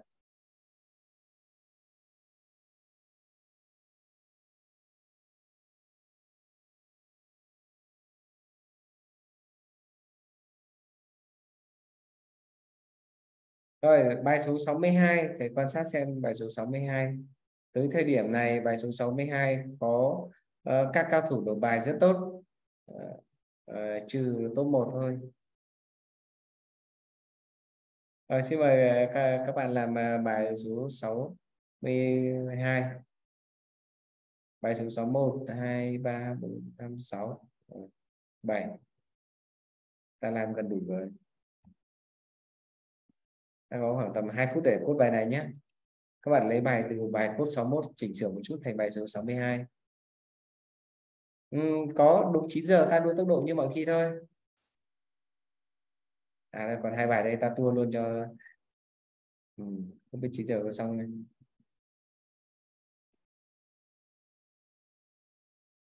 cái ta đang làm quen bây giờ là thầy trò mình đang duyệt cái dãy số thỏa mãn điều kiện nhé. Duyệt dãy số thỏa mãn điều kiện.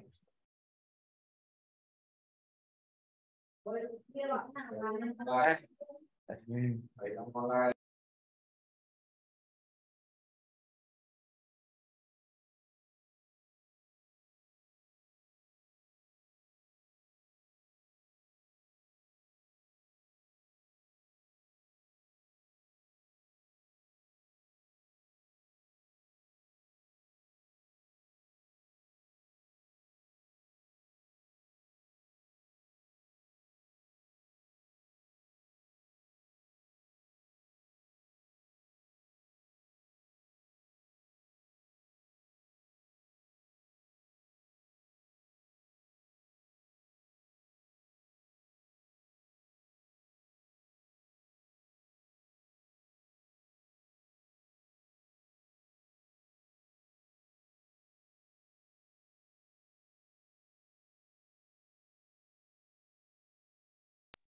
Rồi các, các bạn làm bài số 62 nộp bài lên server luôn nhé.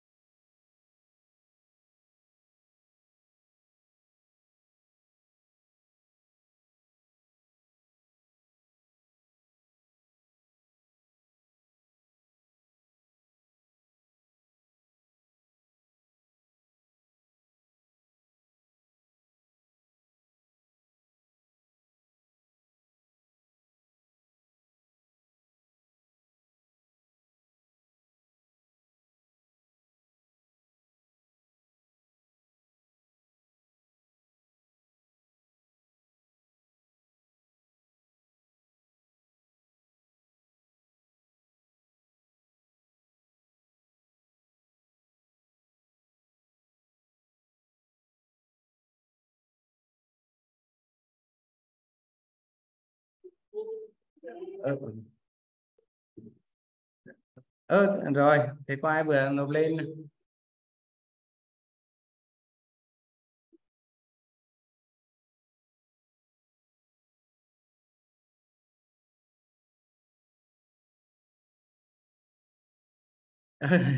À, tính tổng người ta cứ duyệt từ đầu đến cuối nếu mà thì ta gắn S bằng S của ai nhớ S khai báo kiểu long long là được.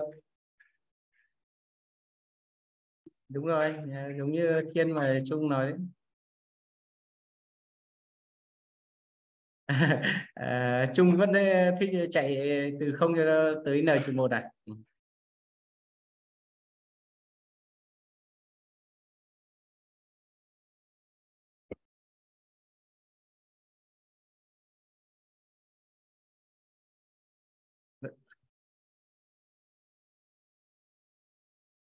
Rồi, vừa rồi ta đang ờ, nói bài số 62 nhé. Bây giờ ta tua nhanh nha. Các bạn cốt bài số 62 thì ờ, chỗ này thì ta làm chi tiết hơn một tí. Ta sẽ thực hiện là để tính tổng các phân tử ta khởi tạo S bằng 0. Sau đó ta thực hiện là duyệt y chạy từ 1 cho đến L. Và thực hiện cái công việc là S thì bằng S cộng với I. Đấy rồi uh, ta sẽ thực hiện uh, thực hiện xong thằng này ta thu được S là tổng các phần tử. Khi đó ta thu được uh, thằng thứ hai là thằng giá trị trung bình cộng sẽ là bằng S 1.0 nhân với S. Đấy. Sau đó ta, ta sang bước 4 ta thực hiện đếm số lượng các phần tử thỏa mãn điều kiện. Thì khi đó ta mới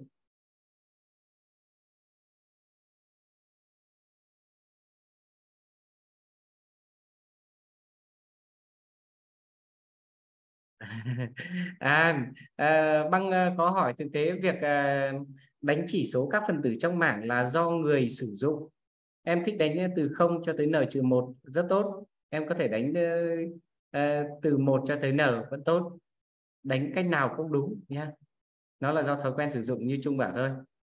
Đấy. rồi sau đó ta thực hiện duyệt qua tất cả các phần tử và yêu cầu đếm nhé rồi.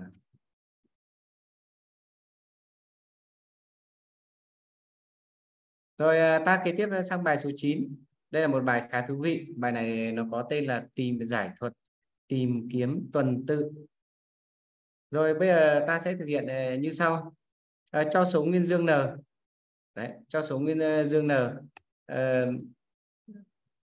và số nguyên dương k và dãy A1 A2 AN. Hãy đưa ra vị trí đầu tiên của k trong dãy số. Ví dụ như các bạn đang đứng chào cờ ở trên trường thành một hàng. Cô giáo hỏi là à, đi từ đầu hàng cho đến cuối hàng hãy cho thầy biết hãy cho cô biết là cái bạn có chiều cao là một m sáu là đứng ở vị trí nào trong hàng? Đấy. Vậy thì ờ, cái một m sáu đây đây chính là cái giá trị k mà giá trị cần tìm. Và người người ta hỏi đi từ đầu hàng đến cuối hàng cái thằng đầu tiên thỏa mãn thì ta đưa nó ra. Vậy ở đây thì ờ, các bạn sẽ nghĩ ngay đến cái tư tưởng tuần tự của nó. Đó là tư tưởng đi từ đầu dãy cho đến cuối dãy vậy thì ở bài toán này thì ta có bước một ta sẽ thực hiện à, à đọc dữ liệu à, đầu vào. À, ta sang bước 2 ta mới bắt đầu theo tư tưởng. Để biết được cái bạn nào có chiều cao là 1m65 thì thầy sẽ đi từ đầu hàng cho đến cuối hàng. Cứ đến đi đến bạn học sinh thứ y nào đó thầy so sánh chiều cao của bạn đấy với giá trị k. Nếu mà nó không bằng nhau thì ta lại đi tiếp. Đi đến khi nào gặp đúng một cái thằng mà có chiều cao bằng 1m65 à ta dừng lại thằng đấy và thông báo cho cô giáo à có cái bạn này và bạn này đứng ở vị trí thứ năm ở trong hàng chẳng hạn đấy. vậy thì ở đây ta sẽ thực hiện cái công việc là uh, duyệt y chạy từ 1 cho đến n và thực hiện công việc nếu ở, ở vị trí thứ y mà giá trị của nó mà bằng k thì thì thực hiện là đưa đưa giá trị đấy ra.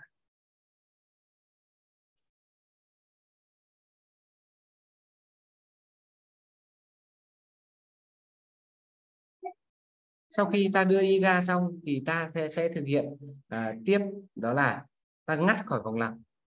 Để ngắt khỏi vòng lặp thì ta sử dụng tại bất cứ thời điểm nào. Ờ, nhớ ta không sử dụng return nhé return là nó thoát khỏi chương trình ngay mà ta ngắt khỏi vòng lặp bằng cái câu lệnh break chữ thường thôi Đấy.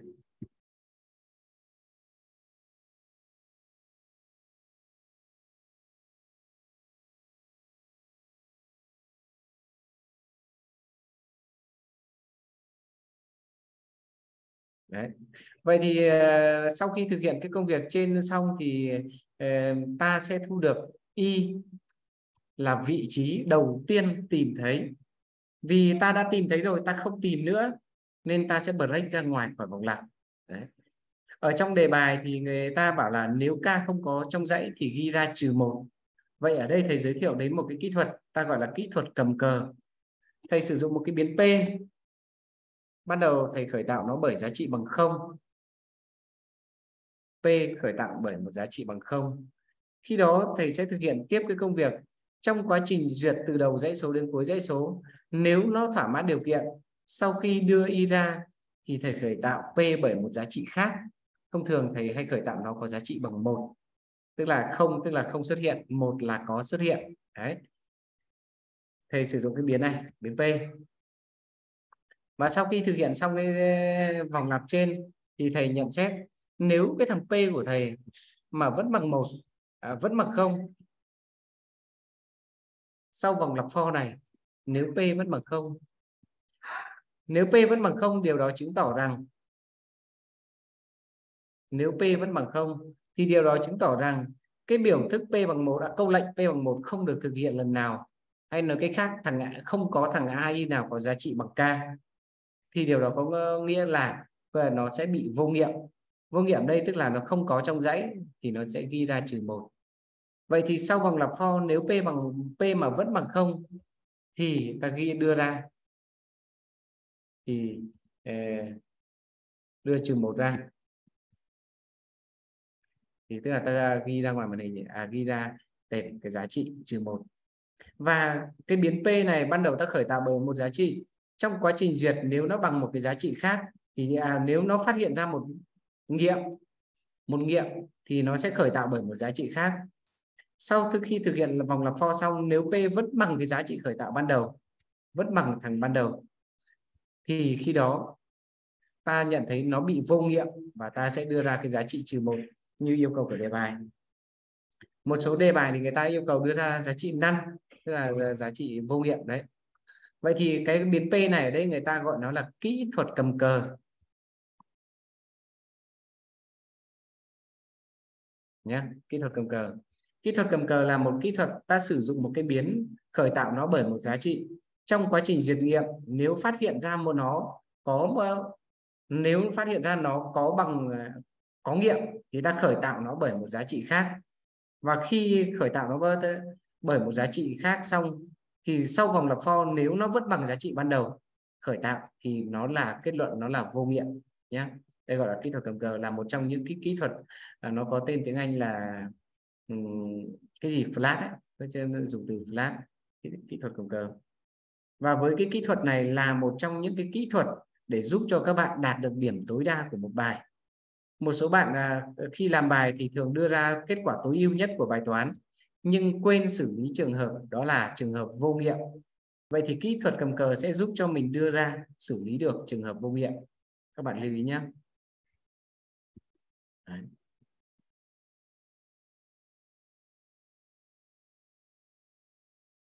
Và với cái kỹ thuật cầm cờ này thì sau sau này ở các bài toán sau, khi thầy đề cập đến kỹ thuật cầm cờ thì các bạn nhớ cái biến P này nhé.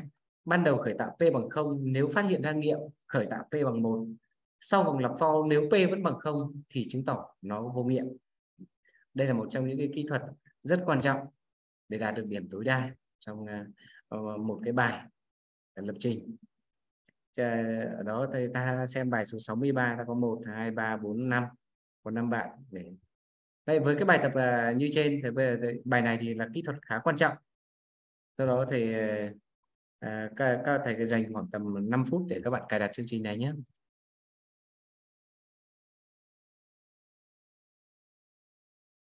Rồi xin mời các bạn làm bài.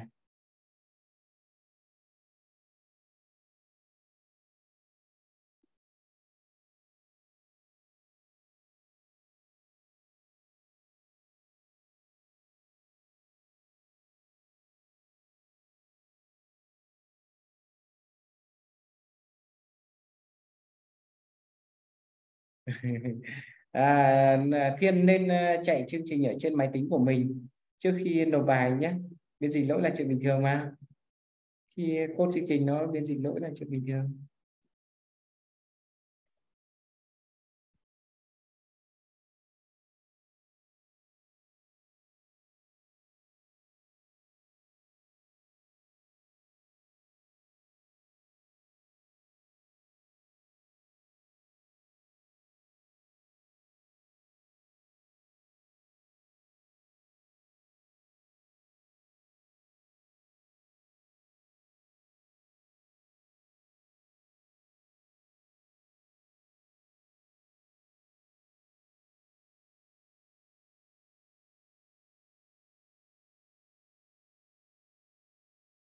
Đấy, con xem à, bài làm của các bạn đang nộp. Các bạn làm nhanh bài số 63 nhé. Hiện tại mới có đôi bốn đôi bốn sáu bạn đồ S bằng S cộng AI chữ A đó là AI em nhé. S bằng S cộng AI rồi Thiên xem màn hình nào?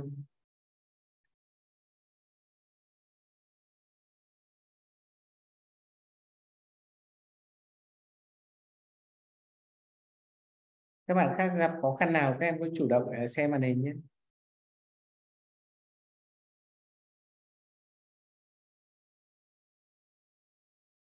Em phóng to có lên một tí.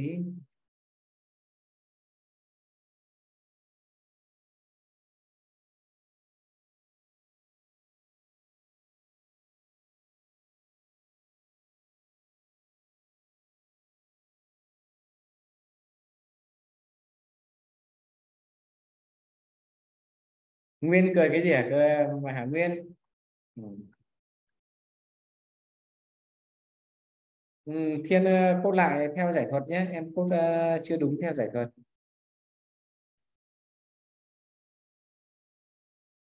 Em xem lại phần uh, chụp và thầy chụp ảnh trong phần hướng dẫn thuật toán mà em cài đặt theo đúng hướng dẫn đấy.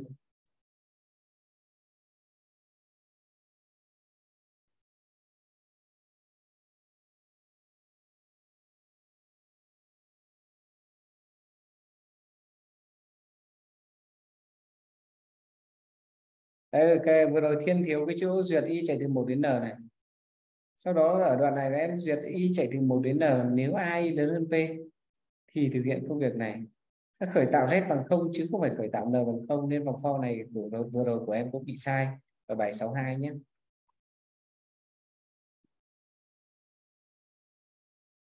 Nên em à, cài đặt lại theo mô hình của bài số 62.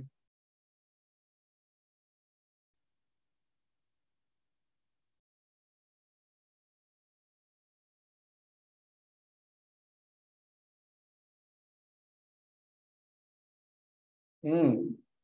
đấy em thiếu em thiếu một cái dòng này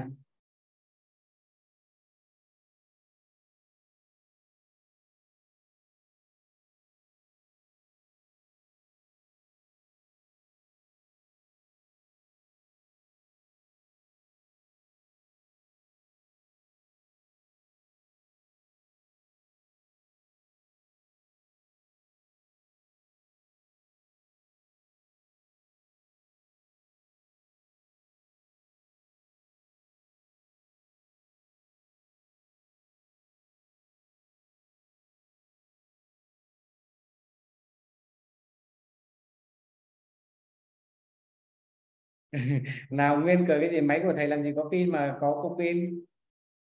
Ừ.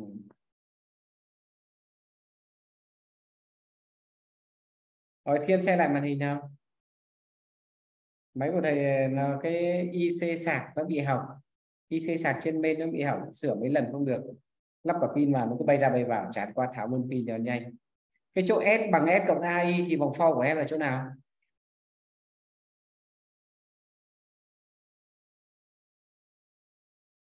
Cái vòng for bên trên của em là vòng for nhập dữ liệu nó không liên quan gì cho tới cái việc à, tính tổng cả. Em à, cho s bằng s cộng à, s cộng bằng ai em ấn enter tụt nó xuống em à, cho vòng for thôi.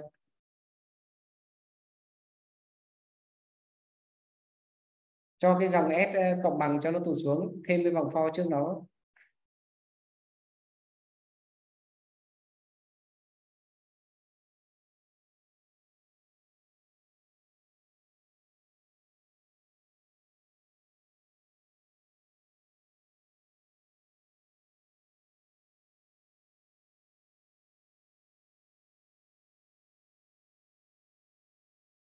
rồi, cái vòng for kế tiếp nữa ở phía dưới. Sau này em lại for y chạy từ một về không.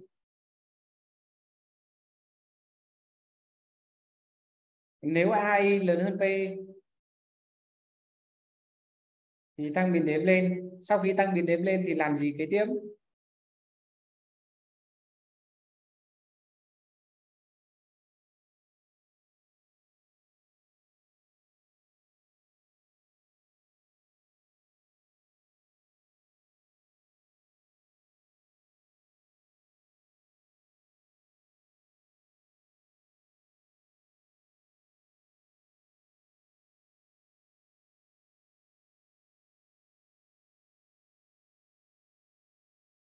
Rồi, ok nhá. Lưu ý với cái cách cách hỏi như thế thì lần sau trong quá trình mình cài đặt, mình cũng sẽ đặt ra những câu hỏi như thế để tự sửa cốt của mình. Ừ, cảm ơn Nguyên. Nếu có tài trợ thì tài trợ cho thầy con MacBook Pro bản 2023 chip M2 nhé ổ cứng 1T SSD cũng được. À.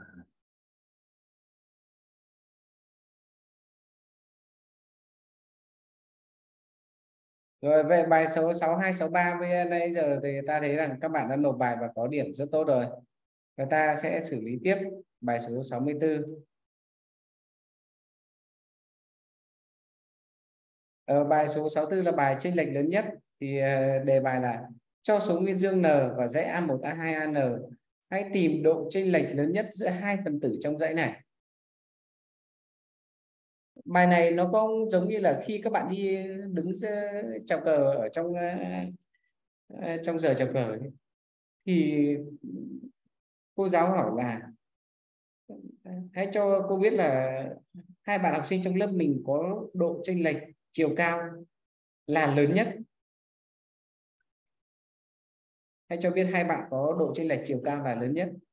Và khi khi mà với câu hỏi đấy thì các bạn luôn ờ, trả nghĩ ngay rằng kiểu gì thì kiểu để có được độ chênh lệch ca lớn nhất thì đó chính là độ chênh lệch giữa thằng cao nhất lớp và thằng thấp nhất lớp. Thì đó chính là hai bạn có chiều cao có, có độ chênh lệch là lớn nhất. Đấy. ví dụ như với bộ test này thì ta nhận thấy thằng này có chiều cao là một thằng này có chiều cao là bốn vậy độ chênh lệch của nó là ba. Như vậy thì đó thằng này có chiều cao là ba thằng này có chiều cao là một thì độ chênh lệch là hai chưa đủ lớn vậy thì với cái bài toán này thì uh, ta sẽ có uh, hai cái hướng làm. Thì uh, ta nghĩ là một cái cách ngây thơ nhất. Đó là ta sẽ thực hiện là sắp xếp.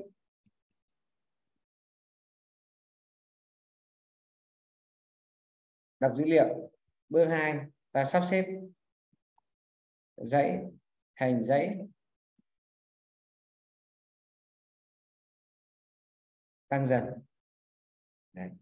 đến bước 3 sau khi mà các bạn ở trong lớp mình sắp xếp thành một học sinh, thành dãy học sinh có chiều cao là tăng dần, thì cái thằng đứng đầu hàng sẽ là thằng có thấp nhất hàng, thằng đứng cuối hàng sẽ là thằng cao nhất. Đấy.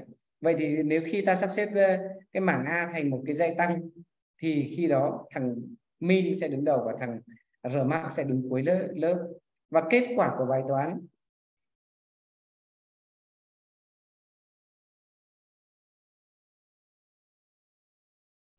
Cái biến z sẽ là bằng thằng an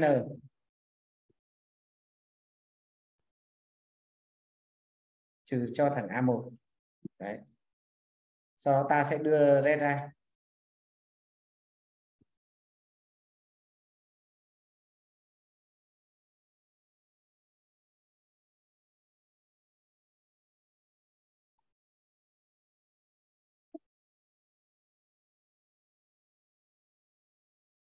thiên là em thử thấy thôi.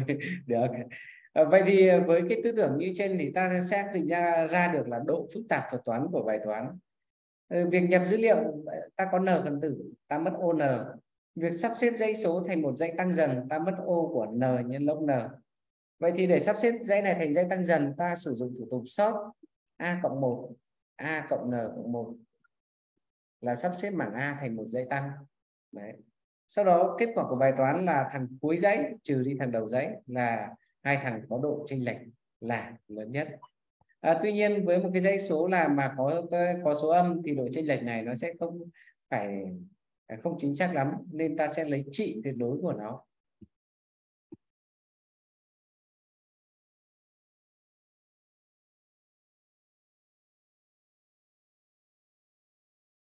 Trị tuyệt đối của nó vậy thì ờ, trị tuyệt đối của nó thì hiện nay thì ta có hàm trị tuyệt đối là hàm ABS Đấy, là ABS là hàm trị tuyệt đối trả về giá trị của nó. Yeah. vì độ chênh lệch giữa hai thằng nó phải là một số nguyên dương mà đúng không? Vậy đó đó là cái cách làm như này. Làm theo cách này thì ta có độ phức tạp của thuật toán là số lượng phép toán tối đa cần thực hiện trong chương trình. Viết uh, bởi ký pháp ô lớn, gọi là chữ ô in hoa. Ờ, và vòng nhập dữ liệu ta for y chạy từ 1 đến n, ta mất n phép tính. Ở vòng sắp xếp theo giải thuật ra bằng thủ tục sort, nó mất n nhân log n của phép tính. Kết quả của bài toán nó mất ô một phép tính. Vậy thì tính độ phức tạp chung của bài toán là bằng giá trị lớn nhất trong các giá trị đấy. Vậy là ô của n log n. Làm theo cách này thì giá trị n của mình sẽ chạy được tối đa lên tới 10 mũ 5 phần tử tức là ờ, ờ, cái phần mềm của mình quản lý được có khoảng tầm 100.000 khách hàng. Đấy. và từ giờ trở đi, các bạn cũng làm quen cái khái niệm độ phức tạp của thuật toán là số lượng phép toán tối đa cần thực hiện trong chương trình. Ở đây, chi phí lớn nhất ở trong cái giải thuật sắp xếp, nhé. Các bạn có thể cài đặt được theo cái cách này. Ở bài số 64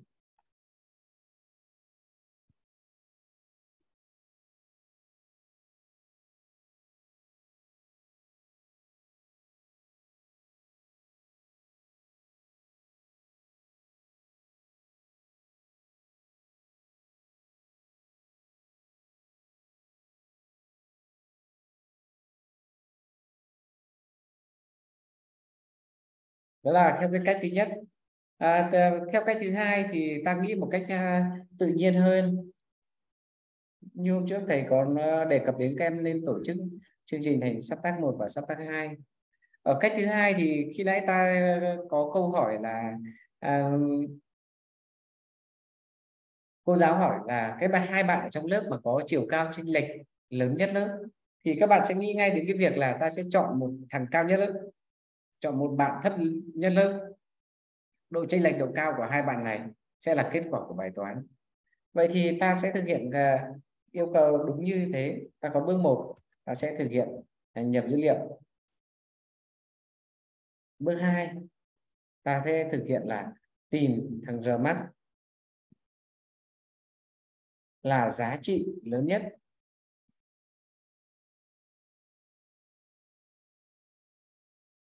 Để tìm giá trị rmax thì giá trị lớn nhất của dãy số thì ta ban đầu ta khởi tạo rmax bởi một giá trị vô cùng bé, tức là âm 10 mũ 9 trừ 1 E9 ta cho y chạy từ 1 cho đến N nếu một thằng AI nào mà lớn hơn thằng rmax thì thằng AI đó mới là thằng lớn nhất, ta gắn rmax bằng AI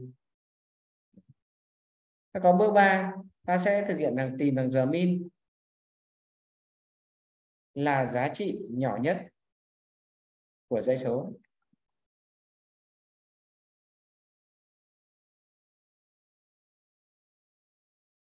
Ta tìm r min là giá trị nhỏ nhất của dãy số. Ờ, thì để tìm giá trị nhỏ nhất của dãy số chính là cái bài ở bên trên thầy trò mình đã làm. Ta khởi tạo bởi nó một giá trị vô cùng bé à vô cùng lớn. Ta duyệt từ đầu dãy số đến cuối dãy số. Nếu gặp một thằng bé hơn thì ta cập nhật kết quả của bài toán. Khi đó ta sang bước 4 là kết quả của bài toán là sẽ z sẽ bằng thằng r max trừ đi thằng r min. Tại sao ta phải lấy chi tuyệt đối? Bởi lẽ có thể dãy số này toàn là số âm. Nên khi ta thực hiện toán trừ này, nó không thực sự hay. Thì ta lấy trị tuyệt đối.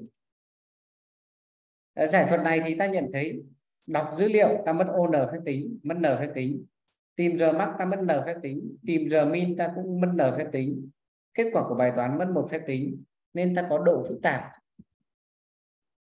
của thuật toán là ô của N.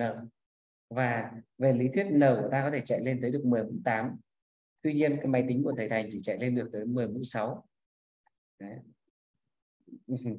À, anh Minh kêu vất vả quá. Vậy thì à, với cái cách như thứ hai này thì ta ta thấy rằng nếu cách thứ nhất quản lý được 100.000 khách hàng thì cách thứ hai nó quản lý được tới một triệu khách hàng. Vậy thì ta thấy rằng là hai cái phần mềm như thế, chức năng nó sẽ khác nhau hoàn à cái giá trị nó khác nhau hoàn toàn. Nhé. Vậy trên đây là bài 64 và có hai cách.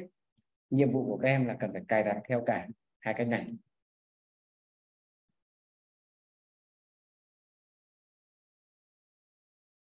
các bạn tổ chức thành sát tác 1 và sát tác 2 nhé các bạn nào đã làm bài này rồi mà chưa làm theo hai cách trên thì đề nghị các em ờ, cài đặt lại theo ờ, cái như trên.